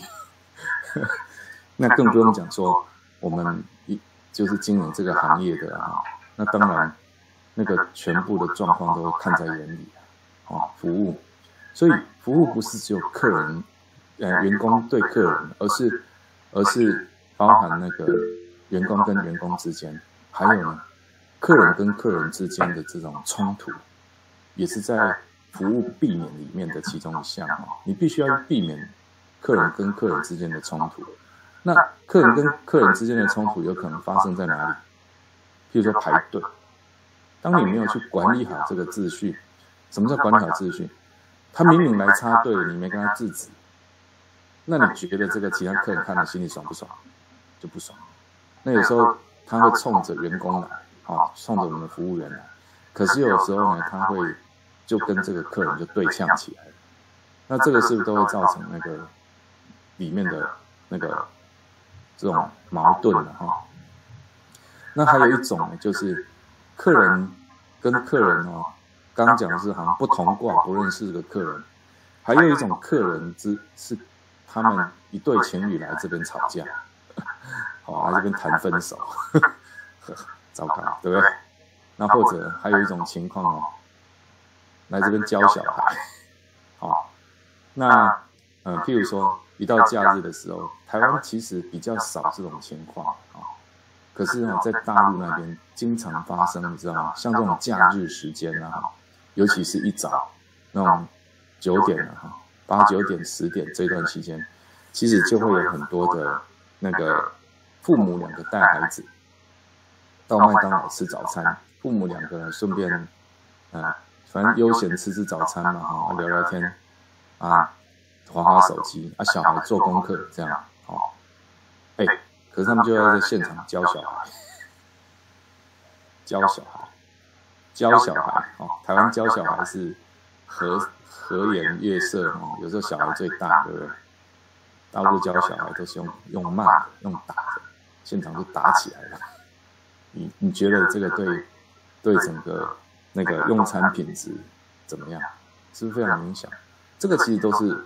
服务范围，所以我特为为什么特别解释，只是告诉大家说哈，不要把它简只是界定在那个所谓的这种那个啊顾对顾客对待那一段哈，其实服务里面就还包含这几个层面哦，啊，再清洁，其实清洁它也是有分呐，有分。我们看店里面哈的正常的这个抹布，它应该就分成三个颜色。哦，要有三个颜色的抹布。那第一个颜色的抹布哈，就是通常是拿来那个擦拭哈那些顾客呢，就是不会碰到的哈，但是眼睛看得到的，像玻璃啊、啊天花板、地板啊这些，是不是都灰尘啊、脏东西，对不对？甚至地板的清洁哈，这些通通都是第一类的清洁。第二类的清洁呢，就是顾客会碰触到的，像桌面啊、柜台台面、餐盘啊，哦，对不对？这些托盘，我讲的是托盘哦，或者是酱料、酱料瓶啊，什么这些，只要是顾客哦会去碰触到的的部分的清洁。第三种的清洁呢，就是会来自于那个顾客会嘴巴会吃到的这种餐具。哦的这种这种清洁，这些是不是都是清洁的范围？那我们要区分开，每种清洁都要去做。那再来是所谓的鲜度哈，鲜度管理。鲜度管理哈，鲜度管理包含两个面向。第一个面向指的就是说，你东西真的要新鲜嘛，就看字面的意思就知道了。零售业的话，就是像鲜奶好了，鲜奶的鲜度哈，你就是不能让顾客拿回去就过期了。我刚刚讲买回去就过期了，不是说过期了让他买回去，过期让他买回去那真的是罪该万死。哎，这个是人家是可以去检举的，你知道吗？你卖过期品啊，卖过期品哦。有一阵子啊，大概莫约在四五年前那时候，检举达人哈，有一度就是把方向指向到那个各个连锁品牌里面的一些零食柜啊，零食零食的那个专柜，就他们知道某某些厂商的某些货其实要过期这样，那挑过期啊，没有挑干净啊，那就会让顾客买到，这种是过期品。这个是可以罚钱的哈，就卫生机关、卫生单位来讲，这是他们管制的那条线哈。你等于是越线了，那当然会被管。那第二个鲜度呢，就是我刚刚提到的，买回去就过期了，买回去就过期。什么叫买回去就过期？譬如鲜奶，你卖他那种家庭号的鲜奶，结果呢，今天晚上过期，你觉得他这时候跟你买一罐家庭号的鲜奶是？哦，已经晚上八点了，来买一个家庭号回去是干？当然是明天早餐才要吃啊，顶多晚上喝一些嘛，对不对？可是主要就是早餐嘛，哦，或者甚至他要喝个两三天。我们在家里喝鲜奶不都是这样吗？你一大瓶，你怎么买回来可能全部喝掉？不可能啊。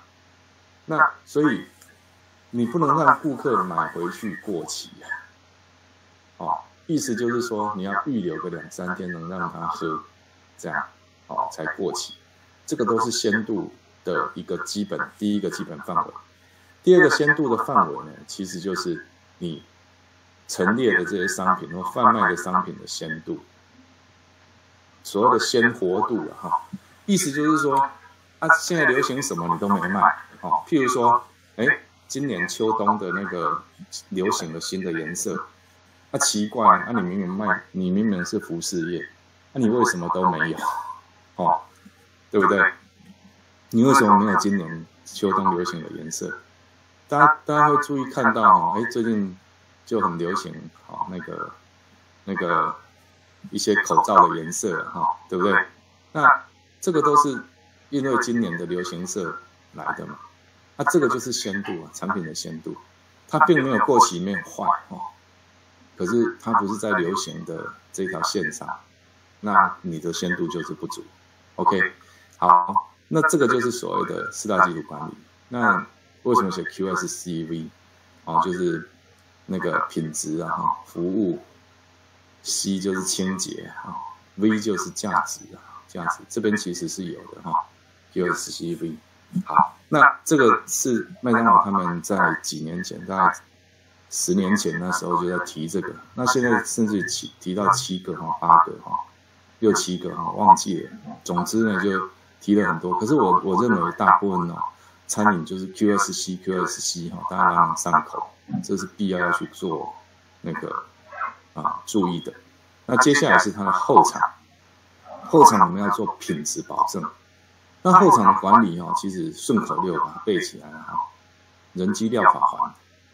人就是谈人员卫生跟工作安全，机呢我们就谈机具消毒哈。你你看我写的很简单，对不对？我好歹我是念管理的，我们以前也有修那个品管，虽然品管的学分不多，一个学期三学分，其实也不少哈。那当时课本也是这么厚一本，印象中哈。深蓝色的皮，然后厚厚一本这样，那么厚一本的东西，我只写这五个五六这五个字，然后只写后面精简一点点。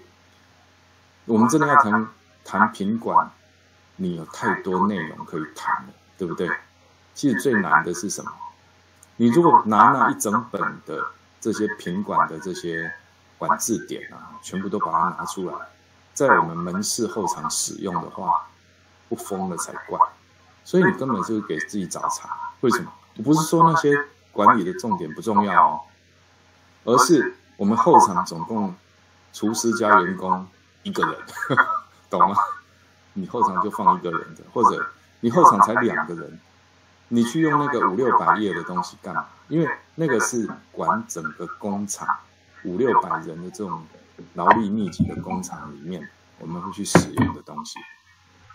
它跟你目前管制的这个现场是不同的，所以你必须要做很多的精简。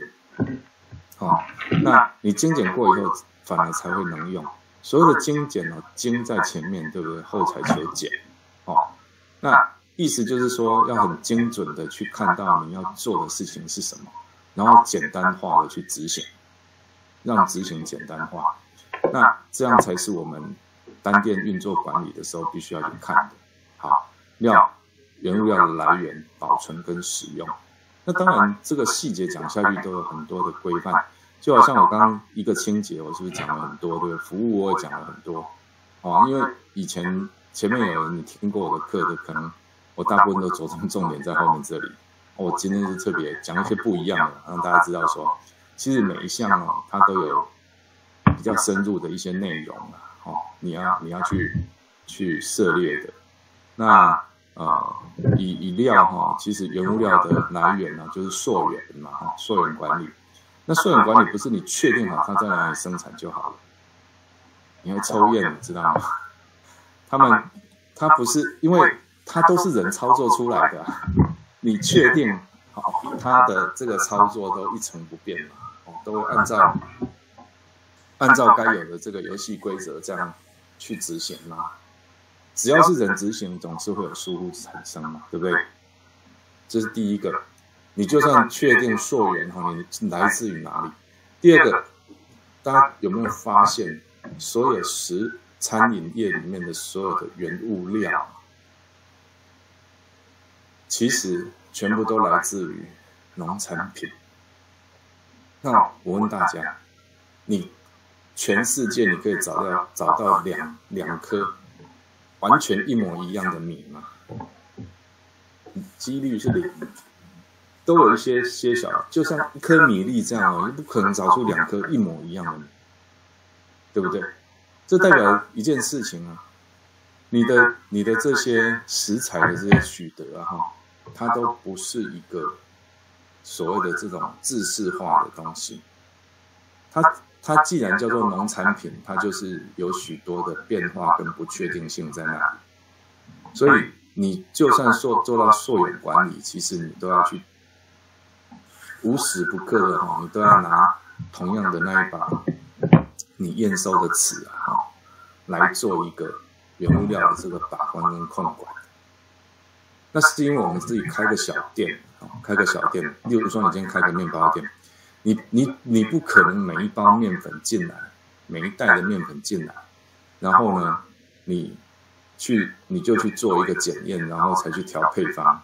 嗯，我可能做这种等级，为什么？因为就算是哦，面粉厂商那边，你说，哎，我这这一袋这一袋面粉呢，跟我上个礼拜叫的那一袋啊，其实我看它批号是生产批号是同一批的。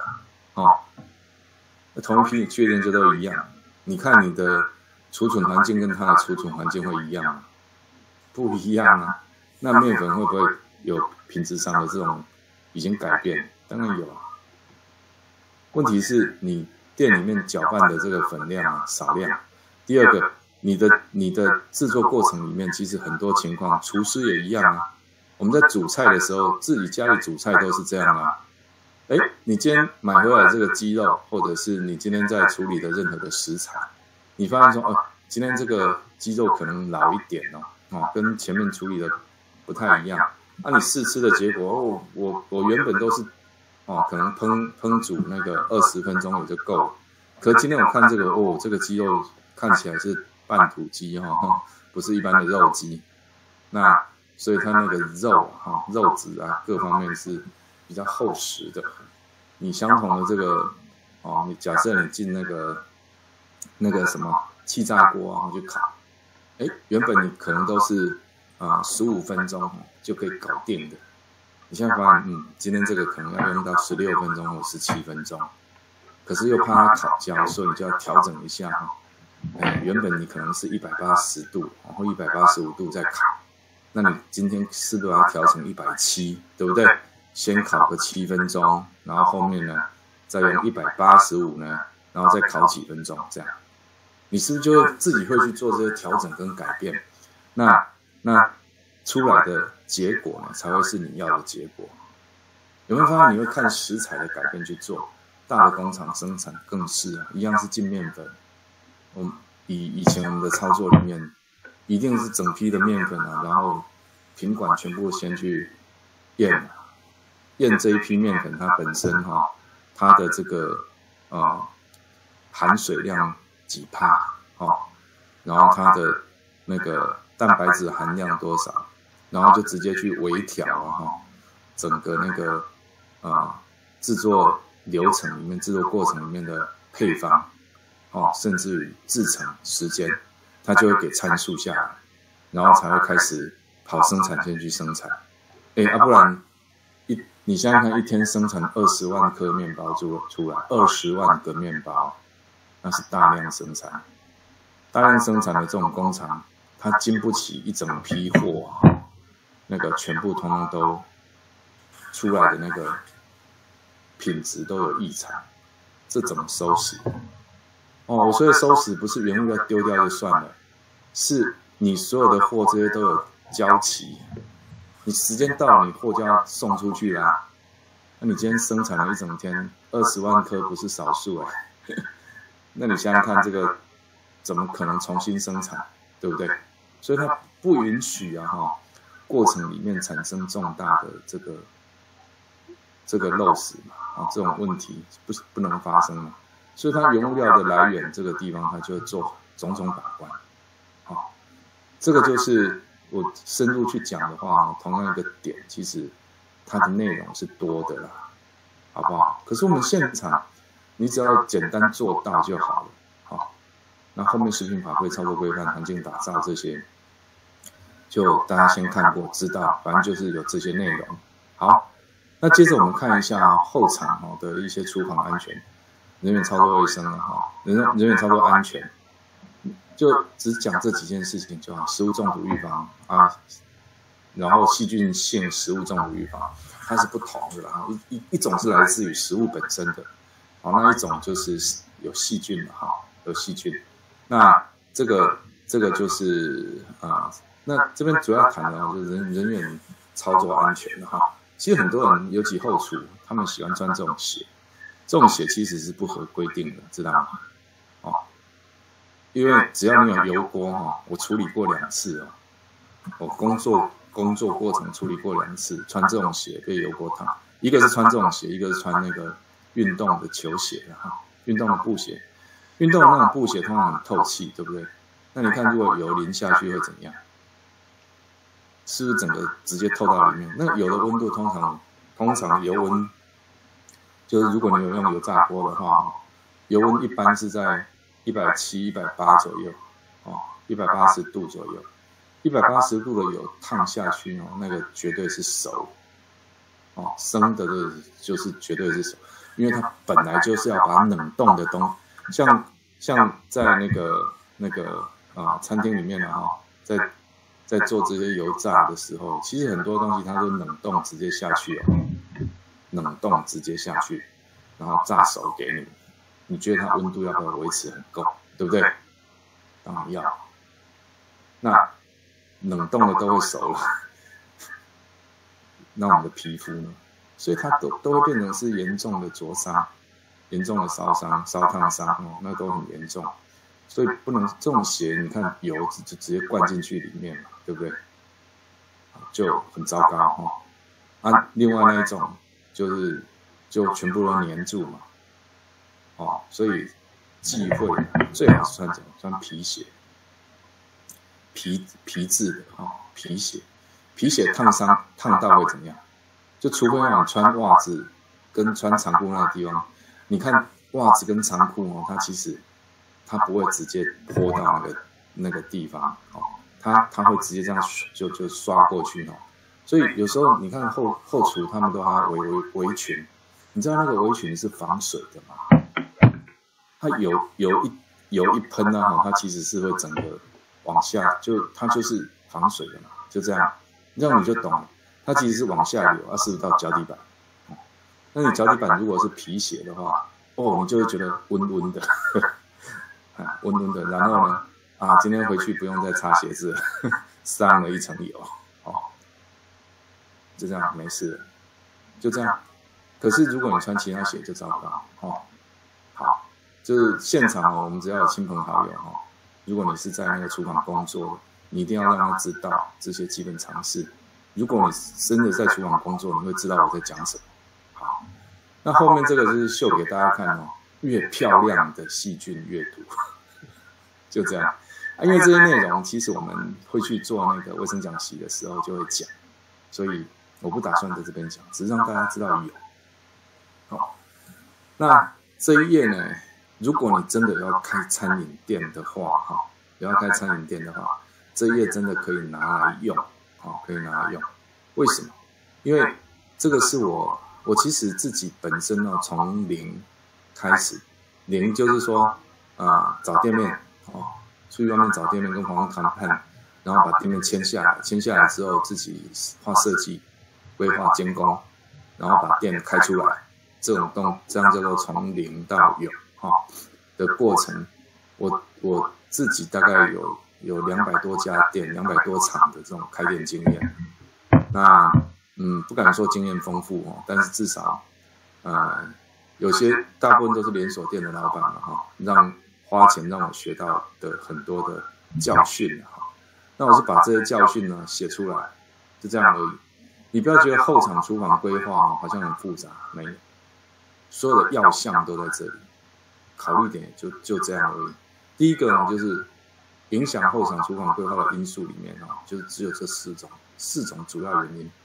一个是你到底要多大产能，对不对？你不要 over 哈，就是很多当厨师的哈，他会很想要心中梦想的设备是什么？这样会有哦，你知道吗？这个就跟模，这个跟男女无无关哦。有些女生也是啊，女厨师啊，女师傅也是。这就跟有时候男人哈心中梦想的某一部车的概念是一样，或者是呃野心再小一点，你梦想中想要的 手机也一样哈。那你有没有认真去想过哈？譬如说你花个五万块买一台手机啊，你到底能用它多少的功能？哦，还是最大的使用功能就是爽，买来爽的。可以哈，其实那个功能还蛮蛮重要的，就你自己用的很很很很爽，就这样讲起来比较粗哦哈，但是其实就是这样。那呃，做生意啊就不能这样，哦，因为你你自己个人哦，花以以我来讲哦，就花钱买个五万块的手机。那是爽啊！我有能力嘛，对不对？我我就买了，可能可以这样。这个叫任性嘛，对不对？有钱人的任性，人家说你是率性；，啊，没有钱的人的率性嘛，人家会说你是任性。这个就是，这个就是这个这个社会里面的这种这种价值观呢，哈，会是这样去认定啊，其实无关别人。但是如果你今天是来开店做生意的时候呢，我就会说，你不能这样任性。为什么？因为你要量，你要看你今天要开的这个场域哈的需求，去去设置你的这些设备，这样才对。你必须要把钱呢花在，你要说要把钱花在刀口上，对啊，那真的是必须要这样。包含你的装修，你都该花多少钱就好了，你就不要多花哈。那这个才是最重要的，所以就是产能，你一定要去注重到这个产能。那当然你也不要低估你的产能哈，就是嗯，你明明需要这么多，可是你不知道，然后让你的产能不足，这也是不对的啊。那很多这种规划规划下去之后，后面其实没办法补救，你知道吗？譬如说，你原本设计哦，你这个你这个店啊，业绩只有三万块，啊，结果是你判断错误啊，每天都每天的业绩都冲到七万块，那个厨房哦，没有办法再补人进来，为什么？没有地方站人了，懂吗？你不是人进来就好，你是要有操作空间给他。不然他没办法运作，所以以后场来讲，就是他顾虑到它的产能，以及你整体哦可运用的空间到底多大，哦，那会影响规划的因素。如果你空间小，那你很多的储存呢，哈，你就要想办法放到那个那个这个往空中，哈，就往上面发展，对不对？你就没有办法，你取用就会变得不方便。好，那此外，安全跟法规你一定要去注意，因为厨房它会产生热能，那热能你要处理啊，它会产生烟，烟你要处理啊，它是会产生噪音，噪音你要处理啊，哦，那它是不是产生香味？香味也被检举过哎，哦，烤面包，面包太香，我们被检举过两次。面包太香，第一天闻的时候很香，第二天闻的时候还是很香。闻了一个月下来以后，就再闻到那个味道，他就想吐，就真的有遇过。好，我们刚刚讲那几种都是啊，好啊，譬如说光害也是，声音声音刚刚也讲太吵，声音太吵里面还包含几种声音啊，店里面常出现的几种声音。第一个呢就是。像以前便利店好了，会被抗议哦。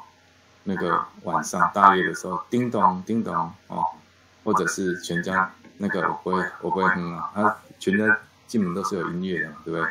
好，那个都是会被抗议，噔噔噔噔噔噔噔噔噔噔，对不对？哈，那这个都被抗议过。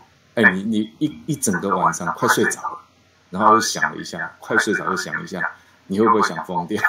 对不对？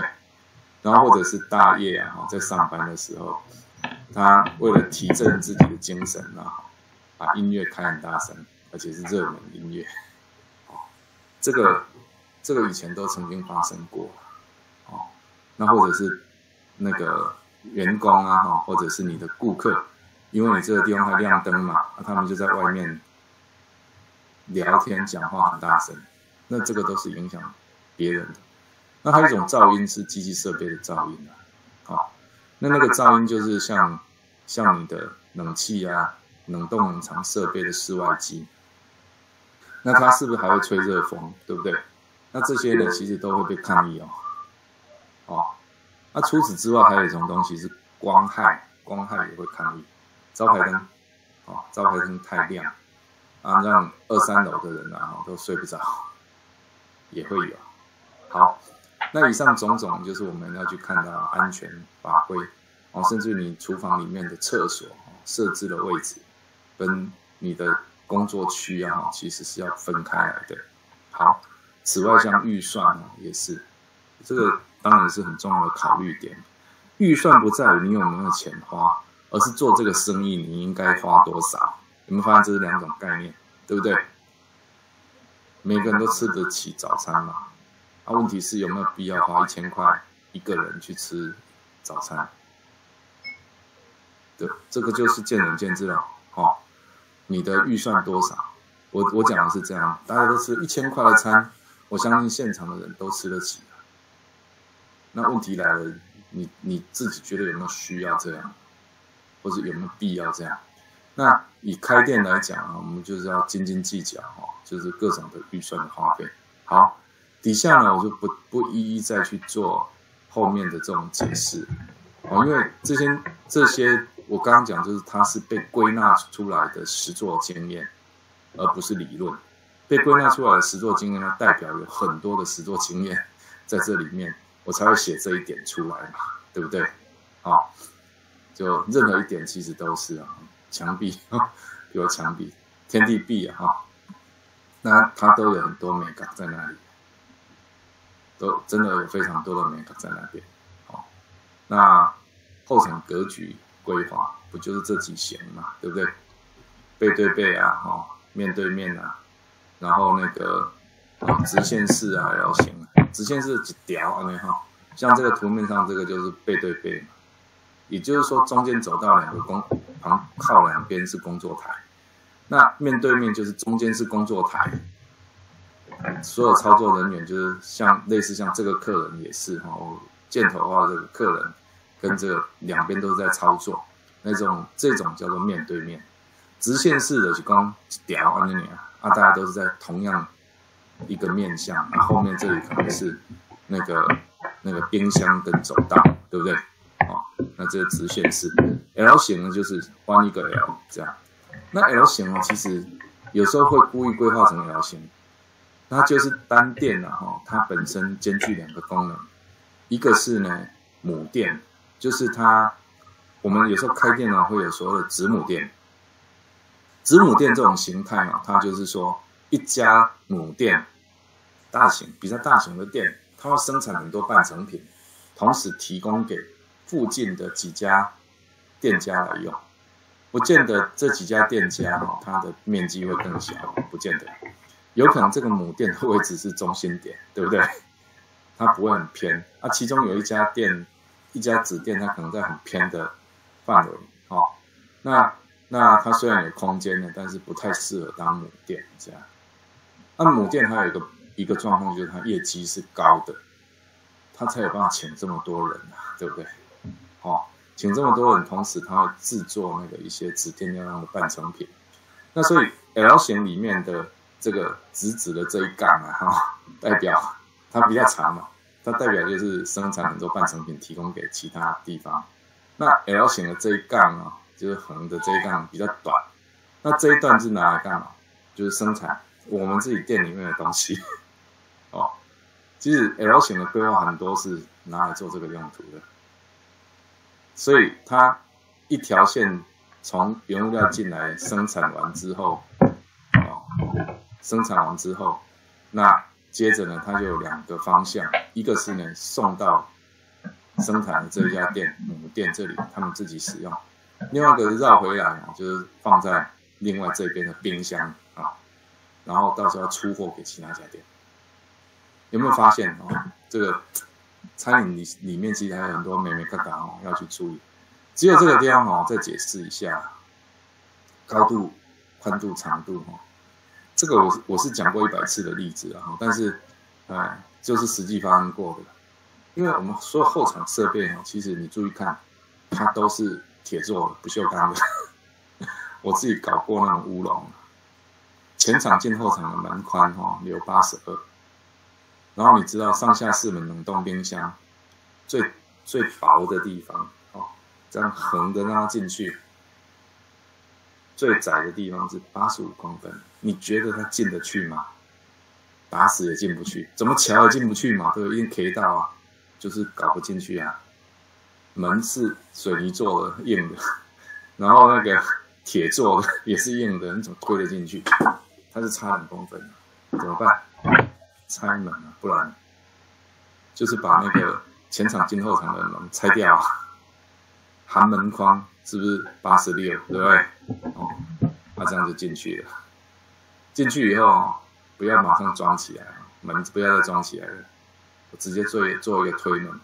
因为五级钢哈，有一天还是要推出来，你不知道那时候要敲一次门，哦，招谁惹谁，对不对？所以这个就是要注意啊，因为所有设备啊，它都有一定的长宽高，哦，那再有一个就是说，所有的设备啊，只要是冷跟热的这些所有设备，它都有散热空间，那这些呢，你一定都要是去预留出来，哦，好。那接着我们开始再谈谈第二项管理哈，门市的管理里面第二项就所谓的这个设备管理啊，设备管理。那设备管理这个内容里面，我们主要谈的也是四项，就是第一个是正确使用设备，第二个是设备基本保养，然后再来是故障排除哈，正确报修，有没有发现这里面有一项叫做修理设备？没，对吧？对，没有人要你修设备，这样懂吗？没有人要你修设备，可是呢，你要会故障排除就好了。好，举例来说好了哈，比如说冷气，哦，冷气正确使用呢，就最简单的，假设你的场域里面，它的面积算一算哦，设计师或者那个啊，给你设计两台吸点式的冷气，那结果呢，在那个。尖峰时间过了以后，你就老是把一台关掉，就是把把其中某一台的那个冷气呢关掉。那请问一下，这种情况是真的省电吗？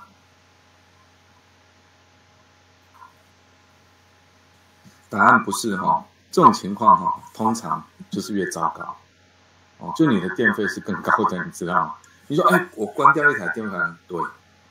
因为，因为你这个场域既然它要两台才打的呢，以下的冷气大部分都是变频的，那它只要到了，它其实压缩机它停止，它自己会休息，可能它冷气还是在吹哈，它只是前面的风扇在吹，可是它压缩机是停下来的，那这种情况底下它才会做到真的省电的效果。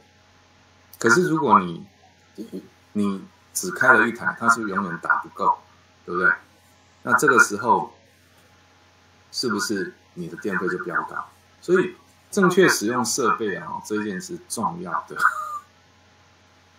因为很多我们的错误观念，反而让这些设备哈使用的寿命降低。哦，那第二个是基本保养，基本保养，基本保养其实就做到清洁、擦拭、上油这三项就好了。哦，就没有要更多清洁、擦拭、上油。好，然后再来呢，第三个故障排除。故障排除，啊，一样当拿冷气当例子啊，冷气不能，冷气不能，你要做检查动作是什么？第一个就是当然看滤网有没有洗啊，对不对？你你滤滤网没有清没有洗，那当然你就不能。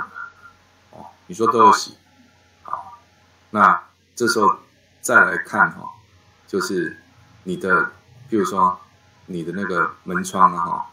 环境啊有没有密闭啊？那这件事情也是重要。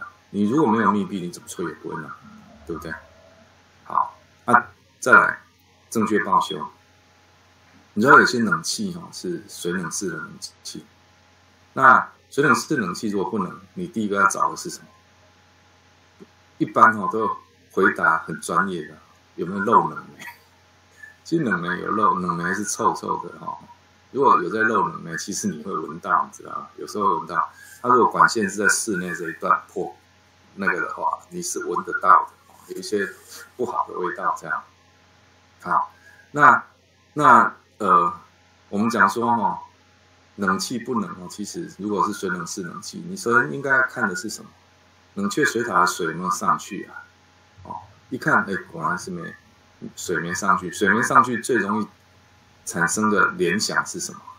可能加压马达，哈，加压马达本身坏掉了，这是最常发生问题的那个点。好，那这时候加压马达坏掉，请问一下，你要叫水电来做叫冷气？应该是要叫水电的来。冷气的来，他要告诉你，你要给水电哦，哦，因为因为水是他水电那里要负责给冷气的。你叫的时候，现在手机也很方便，你要不要先拍一下？哦，你是用哪一颗加压马达？请水电行哦，顺便把那个料带出来。啊，真的坏掉就换掉，对不对？是不是？是不是就结束了？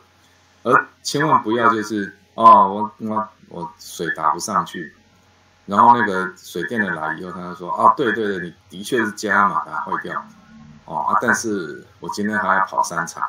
我没有带加压马达出来，我明天再。请问一下，今天像今天太阳这么大，没冷气，你是要怎么做生意啊？对不对？是不是生意就完了？哦，好，这个就是我们设备管理里面谈到的，当然不会只有这样了。哦，譬如说这边有维修记记录表，甚至于呢，你还还会有那个什么设备点检表啊哈。啊，这些所有很多东西，这个都是设备管理，好，啊，商品管理，其实门市里面的商品管理的要项哦，很多很多，那它的内容其实是相对多的哦，就是在在那个那个商品管理的部分，那但是呢，我们啊就简单讲几项，让大家有一些概念。那分两个面向啊，我分两个面向去讲哈。一个一个就是啊，商品管理里面的那个四个 P 啊。那四个 P，如果你在那个啊行销学里面，你有没有看过我？就就就是我提到我们这边提到这四个 P 嘛哈。只有在那个 Place 这个地方啊，其实在行销里面呢，这里谈的是通路，对不对？但是我们店里面没有所谓的通路这件事啊，我们谈的是 display，就是它陈列的部分。好，那当然你说啊，还有四 C 啊什么这些啊，反正我们店家的这种管理啊，我们不是在跟你谈行销嘛，我们只是借用借用这样，好不好？那产品里面呢，我们谈这个啊认识。就是谈三个面向就好，一个认识商品，一个介绍商品，一个是面销商品啊。那，呃，什么叫认识商品？认识商品就是认识商品，废话。那个所谓认识商品呢，最好的方式是什么？就是你有使用经验。如果你对商品有使用经验，那就是最好的认识啊。好，那当然你使用过了以后，同时呢，你又对于很多商品的特点呢。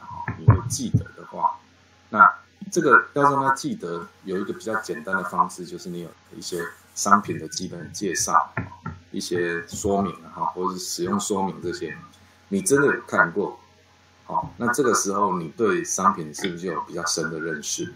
对啊，那但是这个对餐饮跟烘焙业容易，为什么？因为餐饮业跟烘烘焙业认识商品最好的方式是什么？我就吃啊，不然。你吃进去，你就你不就知道它是酸甜苦辣，你就全部都知道啦。这就认识商品最好的方法，简单易懂哦，就吃。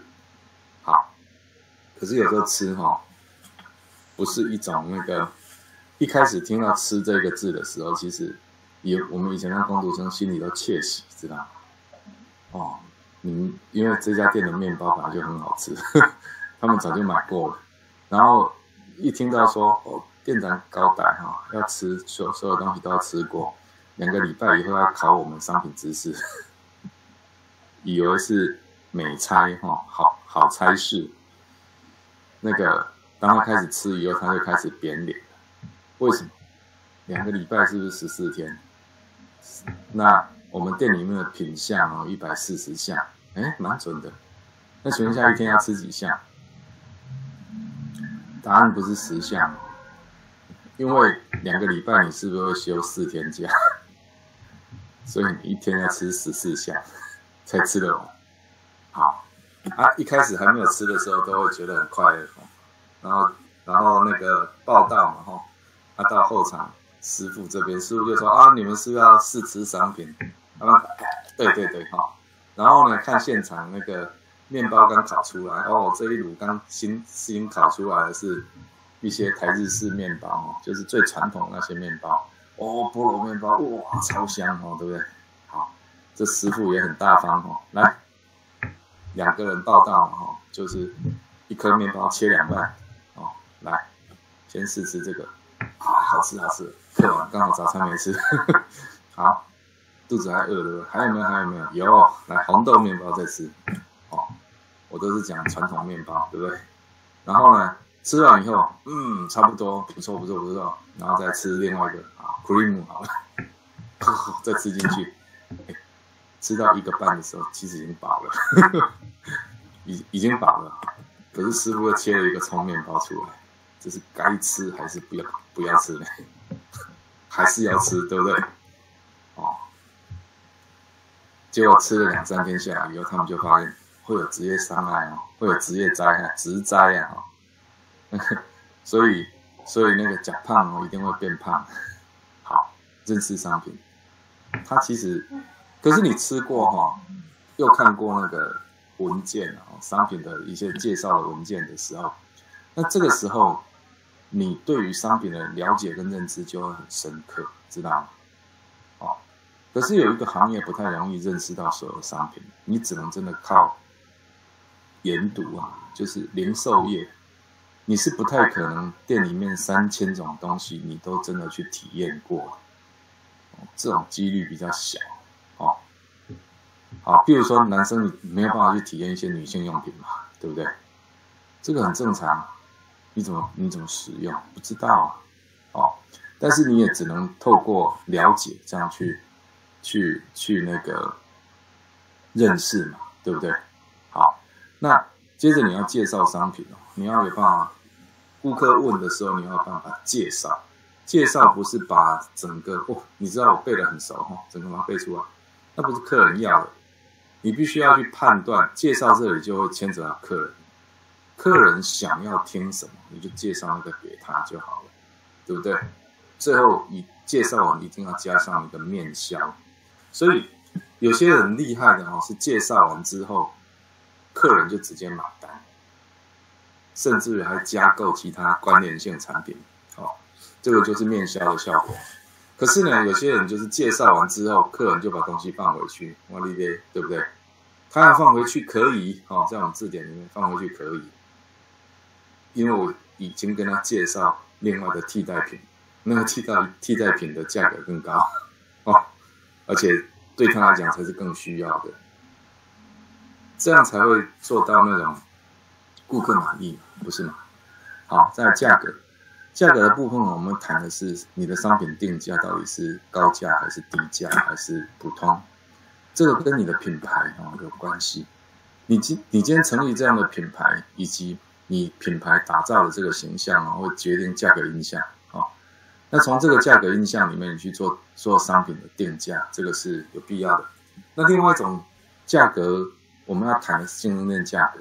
也就是说，你的竞品的价格到底是在哪一个范围里面去做那个啊竞争？这样，那这两种你都要去知道。所以，我们重点哈这边谈到结谈为什么要先谈产品再谈价格，其实就告诉你一件事情：我们不没有办法跟人家比价格，我们只能跟人家比什么价值，对不对？价值哦，好。所以你除非认识商品，不然你没有办法好好说你的价值是什么。OK，那接下来看陈列啊，陈列是零售业才会用得到。这边出现一个专有名词叫台账哦，我相信现场哦上过我的课，你可能会知道台账两个字。那这一部分你就是有从事过便利商店这个行业，那你可能就会知道台账是什么。台账就是每一台货架哈上面的商品陈列账。什么意思呢？就是一台货架，由上而下，由左而右，每个位置要摆什么东西的那一张图，我们称为台账图啊，就称为台账图。所以台账其实是零零售业里面的哈最核心的能化。所以这个部分呢，就是请大家有机会的话哈，可以去多做一些认识跟了解。那再来一个呢，就是啊促销。那门市促销哈。它原则上分成三大类，一类是全店促销，一个是所谓的这个商品促销，还有一个是单店促销。哦，那这里呢就点到这边就好了，就不要再往下讲。因为单纯单单单行销这个部分，其实也是有一些内容的延伸了哈。那促销这里要提醒大家的是损益的试算，每一档的促销你要去计算损益。有时候你促销只是做爽。啊人家说说做那个身体健康的就是这样，你知道吗？我们常常发现，尤其是饮料、咖啡，最最喜欢做的一个促销是什么？第二杯半价，对不对？第二杯半价，你知道第二杯半价你的代价是什么吗？哦，往往这个代价哦，往往是你的营业额要提高一，就是一倍以上，才有办法获得相同的毛利。额，有听懂吗？就你的你的业绩哦，要成长，你没有成长一倍以上哦，其实是没有办法 cover 哈，你原本因为你降价的这个损失的这个利润，它直接伤伤害到你的利润了。所以这种降价促销，有时候真的要谨慎去做啊，不是说人家做你就跟着做，好像听起来很顺畅，然后你就照做。天哪，你都没有去去算算看，这样到底划不划算？啊，划不划算？怎么算？它就是损益试算了你你就是要做一些促销的损益试算那你只要试算有做好，那这个时候你你就知道你在干嘛啊。好，我们往下讲哦。商品的门市商品管理里面呢，哈，我们要谈定进销退存转。哦，转货就是调拨嘛，对不对？那这个是门市里面哈会会操作的那个门市的账务的这个流程哈。你会订货，订货之后你会进货，进货同时你要去做进货验收嘛，对不对？然后接下来你要做销售哦，然后再来退货啊，存库存调拨这些动作。那这些动作呢，都是门市产生的。可是门市产生这些动作的同时，其实你要知道，总部它其实就是规划出、规划过这些事情，才会产生这个。哦，所以旁边箭头这边写的事情是什么？就是总部要规划，总部总部操作的内容。单单一个订货，你看总部它就必须要建立供应商基本资料、商品跟食材的基本资料，然后呢，呃，采购流程跟采购办法这些都要去做，甚至于供应商管理，哦。这些也要去做，所以它内容就多，非常多哦。我们以前在总部当采购就知道了，采购的整个工作内容里面有一大半是为了做这件事情。然后接下来进货验收哦，验收流程进来之后，门市的厨房的这个储位储位管理跟温度管理，先进先出的原则。先进先出这个就比较是现场，可是你知道吗？先进先出这件事情啊，哈。也有在总部这边要操作的，因为你很多的原物料它是有批批号的哦，甚至于哦，就是有价格上的这个差异，前一批货跟后一批货有价格上的差异，那所以你一定要去，也要去控管所有的进货的到底是哪些，是总部也是要去做。好，这边就提醒这样就好了哈，后面我就先不讲了。那接着我们看一下哈，门市单品的这个 A、B、C 分析啊哈，哎，就谈所有 A、B、C 跟 S、A、B、C 啊，因为这个近几年哈会谈的比较多，这个其实是早期啊零售业这边才会谈这个了，可是现在其实餐饮业里面也都谈这个，而且一开始谈这个 A、B、C 管理啊是日本那边的顾问在谈的，那。台湾的很多的零售啊，其实，在早年哦，就是大概二三十年前那时候，哎，比较精准的看哦，大概三十年前那时候哈，主要的 know how 呢，其实是来自于那个美国跟日本哦两个地方，然后渐渐的呢，美国这边视为美国零售反而没有做的日本好哦，啊，后来大概在。二十年前左右，那时候几乎就是日本主流哈，就是以那个零售的管理来讲，我们讲管理不是指流行哦哈，管理的部分呢，就是大概就是日本那边主导哦，其实也是有迹可循的。大家知道，Seven Eleven 原本是哪哪哪个地方的公司？是美国哎，美国南方公司。可是呢，日本那边他们是不是开 Seven Eleven 对不对？开开开，越做越好，好到最后是怎样？把美国的南方公司的 Seven Eleven 这个整个品牌买下来，所以现在 Seven Eleven 变成是日本公司，这样知道吗？那那代表一件事嘛，就是零售这件事情啊，在那个年代的发展的过程啊，其实其实日本的发展是比美国好的哦。那台湾这边当然就很受。啊，日本跟美国这边的影响所以我们看，只要是啊美国市场或者日本市场那边流行的或做的一些事情，它其实就是一个领先指标。那接接着五年后哈，可能五年后、十年后就会在台湾这边出现，哦，他们他们的进化水平大概是这样。那这个没有什么好说的了哈，因为这个就是每个地方哦的啊，每个国家的这个经营的结果哈，就告诉我们这样。那呃，在通讯啊、电信啊哈，或者硬体的这个设备的部分呢，尤其是啊，就是线上支付啊哈，以及这种外送平台这些，大家知道吗？这个在大陆来讲哦，大概比台湾先进差不多七年到八年哦。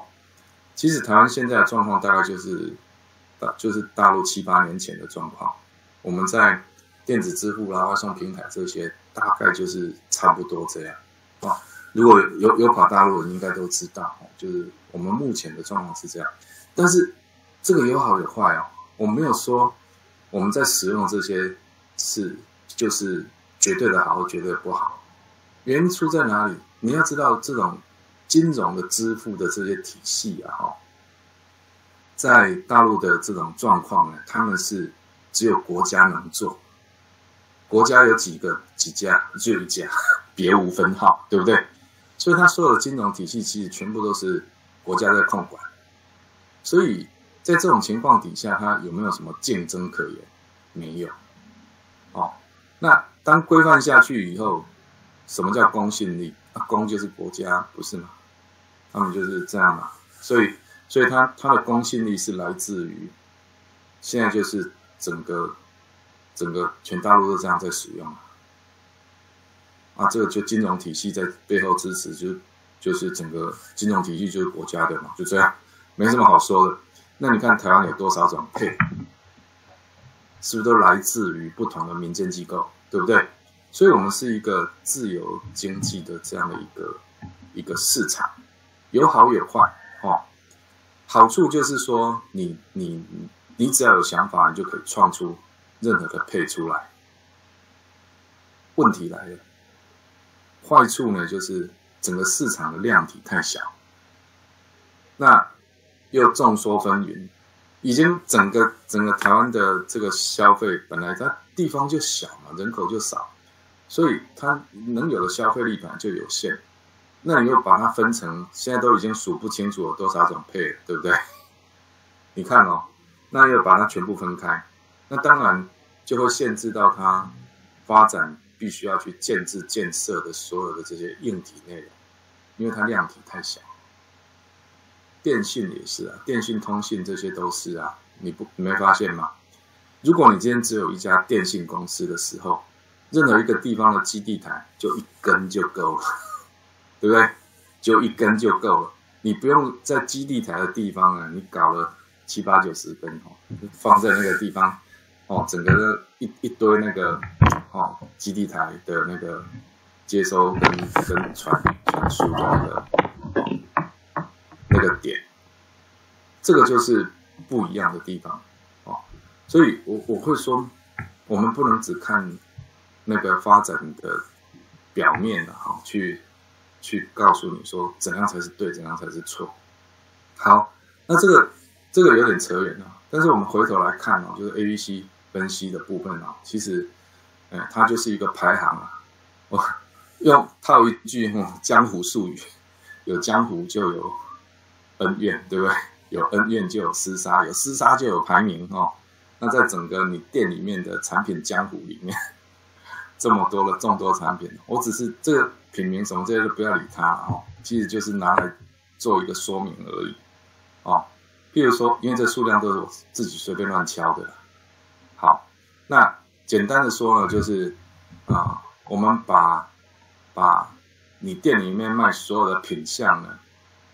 按照你会发现哦，这里是按照销售金额哈，单品的销售金额来做一个排名，对不对？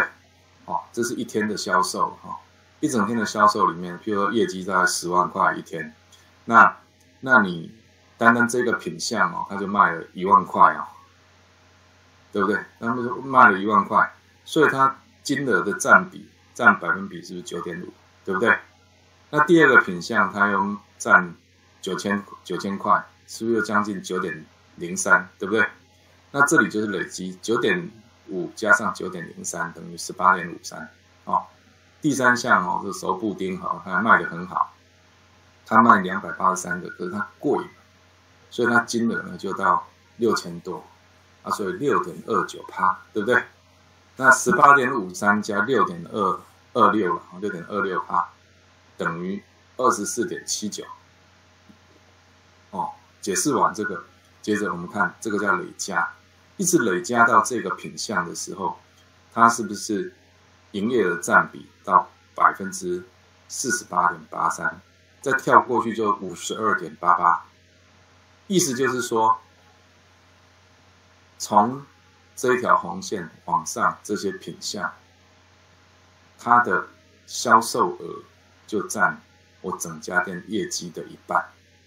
那有没有发现，我我我只有卖这一二三四五六七八这八个品相。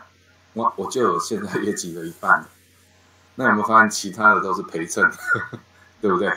哦，以此类推，相同的道理，累积到这边叫做三分之二，哎，四分之三的业绩啊，哈，就七十五趴，对不对？那累积到这边就是九十趴，九成的业绩哦。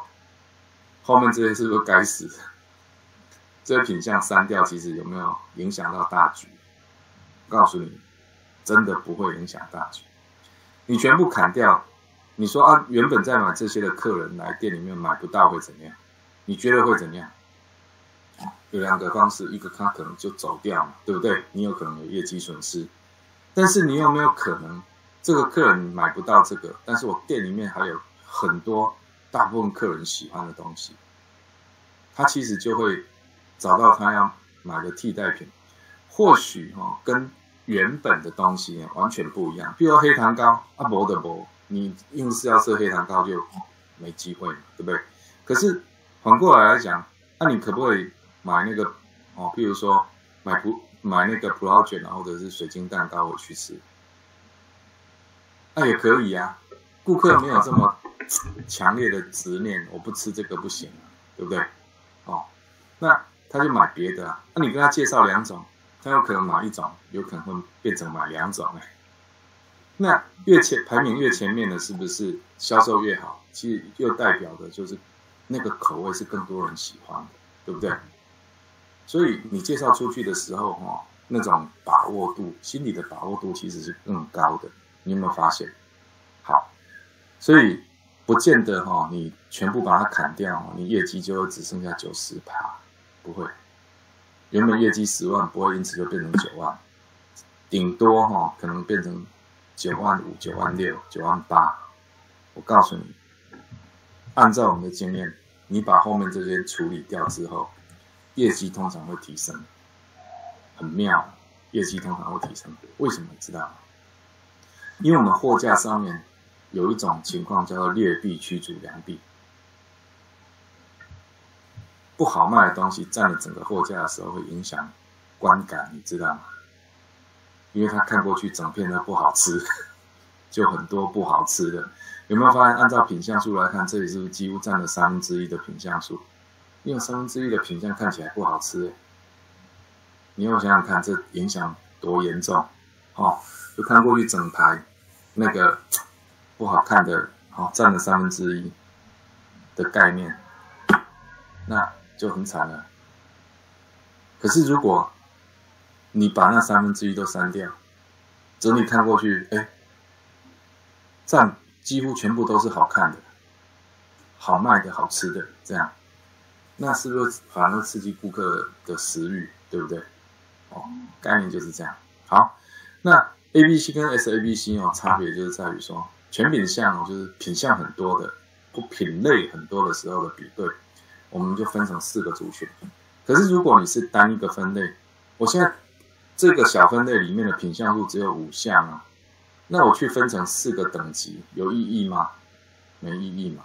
那我们就切三个等级就好了，A、B、C 就好、中中的跟不好，就分成三个等级就好了。这样，哦，那至于为什么叫 A、B、C 哦，就习惯用语而已。后来加一个 S，就 Super 是更好卖的意思。这样。哦，其实那个主要的概念都一样，好不好？那其实这个就是我们常听到八十二十法则，不是吗？百分之八十的业绩来自于百分之二十商品的贡献，哦，只是我们把它用这个法则把它切更细，这样而已。好，那 A、B、C 分析里面呢，哈，它其实有这样的概念哦，S 级的商品呢，哈，要品相数要多于 A 级，要多于 B 级，多于 C 级，意思是这个的品相数要比这里多，这里的品相数要比这里多，这里的品相数要比这里多，所以有没有发现这里其实你真的要砍掉一大半哦？好，那接着你可以用营业额、用毛利额、用销售量去做排行。金额、数量，好，然后呢，其实你还可以算出一个毛利，用毛利额去排行也是 OK 的，这个是基本的，好。那后面这个数量调整呢，就请大家参考。那商品管理里面呢，我们还谈到报废的哈，报废这一项，好，那嗯，报废这一项哈，谈的东西哈，就是呃，影响报废的原因呢，哈，啊，对。应该说报废哦，在餐饮里面有两种，两个两种报废。第一种报废呢是成品的报废，你东西做出来了，然后没卖出去，哦，啊，这种比较会发生，这种成品的话会比较会发生的是在那个那个所谓的这种零售业跟烘焙业，餐饮业比较不会有成品报废。我东西做好就是送出去就就送出去了，其实我就是送达了。除非我端在端端这个盘子在中途啊哈，弄倒了，哦，弄倒了，那我是不是要报废？因为它就叫做成品报废的，OK？那成品报废当然就是用零售价去计价，哦。那另外一种报废呢，是来自于半成品的报废，半成品跟原物料哈。那半成品跟原物料它就没有品名，它对没有固定品名，它就。直接你报废什么就写什么，啊，报废原因登记啊，他大家预估他那个金额是多少？这样好，也就是他那些原物料金额大概多少？哦，所以这里是成本项，有没有发现不一样？哦，好，好，所以两个两个报废都是报废啊。至于后场为什么会有这种报废？有可能原物料放个过期了，要不要报废？要啊。有可能原物料受到污染。要不要报废？要啊！做东西做到一半掉地上，手残，要不要报废？要。烤面包烤的贵会哦，张信哲唱的哈，过火就是过焦哈，那那你要不要报废？要，还是要报废？哦，总之这个都是生产过程当中有可能会发生发生的漏死，那那你就把它报废掉。OK，好，那一样哈，我们在做商品管理里面呢，哦，其中。就盘点是重要的哈，那盘点其实有零售价法跟成本价法这两种，那这个细节的部分呢哈，我们就在不在这边再花时间做说明，但是我必须要跟大家解释一下哦，什么是盘差哦，盘差，盘差有包含盘损跟盘盈这两项哦，那盘损跟盘盈啊哈，指的就是说。账面的价值跟实际的价值，实际的实际的东西，好，简单的说了哈，就是我今天账上假设，哦，呃，我给你给你一笔钱，用钱大家就马上能反应过来。月初的时候我给你一本一一笔钱一万块好了，哦，当零用零用金，然后呢给你一本账本，哦，只要有人拿这个零用金出去，你就要登记。对不对？那如果有些零用金哈，会会再补进来补回来，那你要登记，对不对？是不是有正有负？好，一个月下来哈，我看你的账本上面记载，你应该剩下六千五百二十一块，这个是不是叫账上金额？好，按照你登记的加加减减之后，六千五百二十一块。好，可是当我打开你的金库。去点你的钱的时候，点完你怎么剩六千？那后面的五百二十一那不 OK 啊？丢啊！啊，这样叫做盘损啊。可是有可能打开金库以后，我给出自出难题给自己的哈，结果发现你有七千块，六千五百二十一块，减下来剩多少？是四百多块，对不对？哦，那这样叫盘盈，知道实际值比账上值呢还多哦，那代表一般来讲哦，就是你账没记好，对不对？OK，所以盘盘损的定义大家知道这样就好了哦，不管是成本价啊，或者是零售价啊，其实都一样，就账上金额跟实际金额之间哦是不一样的。这样，好，那接着我们知道一下盘点作业哦，它通常会有一个盘点的目的啊，你目的是为了干嘛？其实大家知道盘点目的有很多种，很多种，一个是那个呃，你你只是啊定期性的盘点，对不对？哦，有时候这种例行性的盘点的哈。那因为目的不同，其实就是就会形成这种盘点种类不同。写在这边的哈，有一种盘点是开账的盘点，就是这一家店刚开始营业，刚新开幕，新开幕你就要有一个开账盘点。你说哎，我不是都有进货吗？你知道进货哈跟进货的那个总总金额啊哈，有往往不等于那个。开账盘点的总金额，知道吗？知道为什么吗？因为哈，你当初开店的时候规划要跟厂商叫的货哦，是这些厂商这些商品哦。假设你有十个厂商叫一百个品相进来，好，那真正你开账盘点的时候，你就发现，哎，你不只叫一百种金东西进来吗？一盘点怎么发现你店里面的原物料？竟然有一百二十种，为什么？因为很多原物料是你没料到，就没省掉。当初哈你在计划的时候，其实往往没有办法那么周全。然后呢，你又你又指明说，我们这家店要做这个要做那个，是不是变成有太多原物料没叫到？你觉得要怎么办？他就拿零用金去买，就去买了。他去买了之后，这个这个是不是原物料？是啊，啊，到时候会不会盘点？会啊，只是他是用零用金先去买，好，那可能这这个月会算在费用账，啊，未来你继续要做费用账办也可以，哦，但是你要不要盘点？还是要，啊，最好呢，像这种东西，还是要把它算到成本账去才对，哦，因为它它就是原料嘛，其中某一种原料。只是你当时没买到，只是这个原料你你可能是用现金支付，而不是用月结的方式进行。OK，这叫开账盘点。还有一种例行性盘点，哦，比如说月盘，哦，或者是你们是双月盘，或者是一季盘一次，有些夸张一点，半年才盘一次啊。那这个叫例行性盘点。还有一种是集合盘点。我就会觉得店里面怪怪的，好像有少东西，好，那我就赶快安排一次盘点哦，看看有没有少东西这样。哦，就有时候你觉得奇怪，今那变旧哈，点一次钱那算一次账，这个叫做集合盘点。还有一种交接盘哈，换店长的时候，你是不是要做交接，或直营转加盟，加盟转直营，好，那这种都是有交接盘。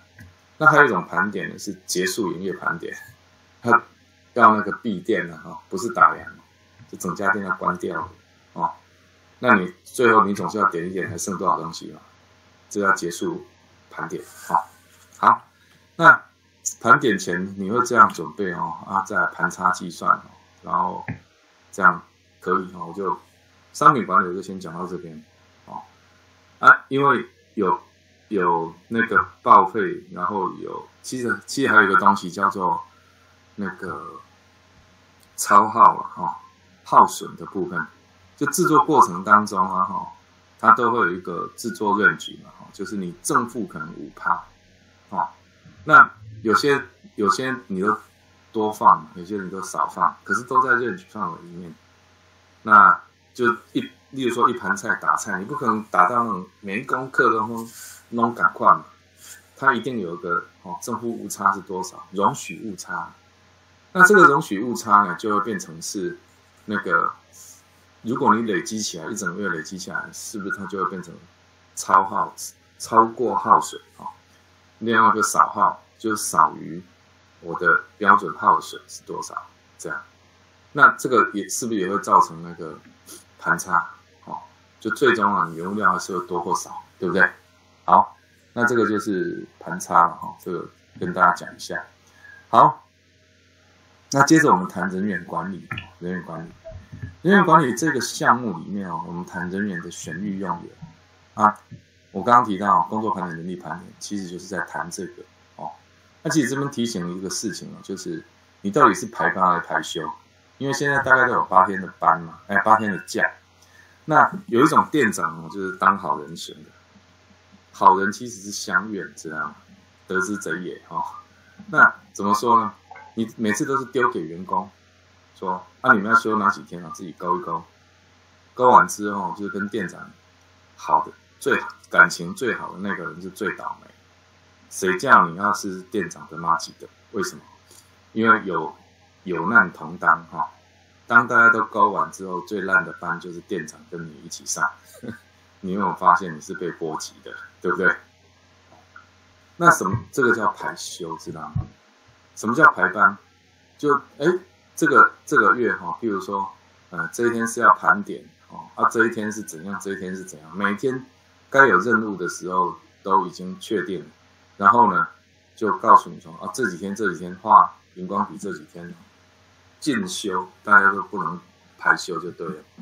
那其他天呢，就是啊八天假呢，你们自己可以勾四天哦，啊四天我帮你安排啊，再来呢，你勾了这四天里面，同一天已经有两个人休了，你就不能再休，规定很多，然后才丢给员工自己去填。这样，我们是不是按照业绩、按照任务状况去做班表的安排？这样叫做排班，哈。所以想想看，你到底是在做排休还是在做排班？OK。好，人员管理里面其实有三大指标：到位率、合格率跟离职率。到位率谈的单纯就是人员的数量，标配十个人，你现在少一个人；就标准配是十个人，你现在少一个人。那就是到位率就九十趴嘛，就这样。什么是合格率？合格率又称为过站率，哈，又称为过站率。也就是说，你店里面呢，哈，有四个工作站，那每个员工呢都过四个，这样是百分之百。假设三个员工里面呢有一个过全部，另外两个都只过两关，哦，那你是不是两百分除以三就是合格率啊？你整家店的合格率就是六十六点六趴，对不对？就是这样，哦，这个就是合格率。那什么是离职率？就两种都都到位率、合格率都高的时候，自然离职率就低了，哦。那离职率一般我们是是看那个累加的，哈，这个有机会再跟大家做说明。好，接着呢就是呃缺人怎么办？哦，就刚刚提到工作盘跟人力盘点完之后。那接下来你就知道说，空缺的那个部分，比如说你今天空缺呢是副店长，请问一下，那你是直接找一个副店长，还是你门市里面有没有什么正职的员工，可以把他升任上去？哦，那你到底要选哪一个才对？就我刚刚讲的那个方式才对，你应该是选一个正职上来当副店。那这时候你就发现，啊，你再找一个正职是不是容易？对不对？所以。当你缺人的时候，答案是验证新人也要做，教育训练也要做。为什么？新人进来，你要不要培训？要。那这个新生正正职升上来当副店的，要不要培训？当然也要。哦，所以两种都要培训，都要做。这样。好，那门市营运哈的 SOP 的建立啊，它其实是有流程的啦。哈，它其实是有流程的。那这个流程呢，就要先有表单，然后有流程有办法。这个简单的说哈，就是例如说一个请假单，好了，你一开始哈，大家都用讲的，哦，啊，渐渐的营业规模变大了，人变多了，你觉得大家都用讲了，就大家很不互相，对不对？早老是那种早上六点哦，再请早上七点的假，七点你要上班，六点多你要请假，那你现在不是直接叫店长？本来要休假的店长来上班哦，那这个当然不行了哦，所以就开始有所谓的请假单那你请假单出来，你是不是要规范？你要先有找到代理人，然后呢，接下来你才能安排哦那个呃就是休假，对不对？哦，你你才能有代班，你才能休假。那它是不是一个变成是一个办法哦？然后跑流程嘛，就流程上，所以有表单有流程有办法，久而久之就会形成 SOP。那这个 SOP 呢，会拿来做训练，那在久而久之最后落到制度里面去，所以它是一个这样的一个过程。那整个 SOP 啊，它其实是不断的在优化哈，它不断的在在做新的这种方式的建立。那这个部分呢，其实在整个门市营运训练里面、营运教教育里面呢、教育训练里面，我们会认真去谈的。那这里只是给大家知道有这样的流程，哦。那接下来门市账务管理的部分，门市的账务管理哈，一般分成两个账，一个是现金账，一个是商品账。现金账哈，这边指的就是所有的现金，包含什么营业额啊哈，然后那个。啊，门市里面先像有营业额，有有找零金，哦，找零金就是收银机抽屉里面那些钱，哦，零用金就刚刚提到临时去买东西，甚至于会有福利金，哦，这些好。那营业额是不是又又分信用卡、礼券啊，或货到付款啊，预预预缴款什么这些等等很多的这些钱，包含现在电子支付，其实都是。营业额的一部分，OK，那这些所有的这些钱呢，哈，其实它都有一个啊进进出出嘛，都有记录。那所有现金的这个管理，就是我们账务管理里面的第一项，那第二项就是今天的进货跟领料跟销货有关于货的进进出出的管理。那这个就是所谓的这个门市账务管理这两两大套的东西。那这两套的东西，它你就要制定一些游戏规则。简单说就是这样，对不对？哦，所以这边就有提到哦，就是零售零售价嘛，在营业成本价嘛，实上是不一样的，记录的这个方式会不太一样。那除了那两项管理以外，就是工作日志附带讲的门市里面啊，常常会有个交接本啊，那我们也可以把它正式哈，把它弄成一个格式哈，你去做 check 的同时。然后下面写交接，那交接有可能就写顾客订单哦，有什么样的啊交办嘛，对不对？那你早晚班你至少要知道，隔天你翻前面也看得到哦。那这个方式会比较好一点点。那这个工作日志是要保留下来的哦。为什么？因为它它会记录你的营业的一些状况，譬如说今天外面有马路哦，或者是哎今天下大雨，人都没来。你就要记录在这里，对不对？好，那接着呢，我们再看一下哈，哎，门市资讯管理哈，资讯管理的部分呢，我可能有一部分，我我只是会先提到我为什么要提这个表，那有一部分我会跟下午哈，下午的那个呃我们要谈的那个是业绩的部分一起讲，因为它都是跟业绩有关，只是因为这里刚好就是一个业绩跟。那个资讯管理的这种交接了哈，因为业绩你因为谈到业绩分析嘛，对不对？业绩分析是不是我们营业资讯里面的其中一项，对不对？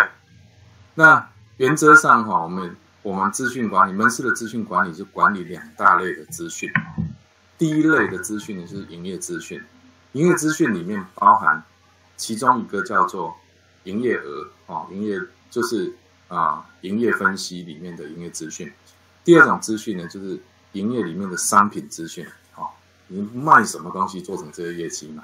所以你看这个表，它营运管理表里面，它是不是有出现业绩的分析的、品类的分析的，对不对？好，这里有品类的分析的。好，那另外商圈资讯哦，商圈资讯一般我们只注意到两种资讯，一种呢就是所谓的这个啊商圈里面的顾客资讯，那另外一种资讯呢是。商圈里面的 竞争的竞争者的资讯，好，那以上所讲这些资讯呢，哈，它都有收集、分析、运用跟保存这四个项目。那这四个项目当然就有很多的啊不同的内容，我们可以来谈。那这个就是我简单的哈把商店管理里面的六个六个要项的这些内容跟大家做介绍。那后面后面这边的这些例子啊，有跟营有关于营管表哈，跟这个例子，因为它是它就跟我们下午的这个业绩啊这些的管理啊会比较相关。那所以那个部分呢，就是如果你没有上下午的课呢，这里是给你做参考，因为我这里也写的蛮清楚的。那如果 下午有上的话，那这个部分呢，我下午会从这个地方开始讲，这样可以吗？好，那我们今天早上午的这个课程呢，就到这边呢告一个段落哈。那呃，今天现在是三十三分了，大家 delay 了几分钟，跟大家说抱歉。那下午我们是从一点半开始上课哈，那请大家一点半的时候再准时上线。啊祝大家午餐用餐愉快，谢谢大家，谢谢。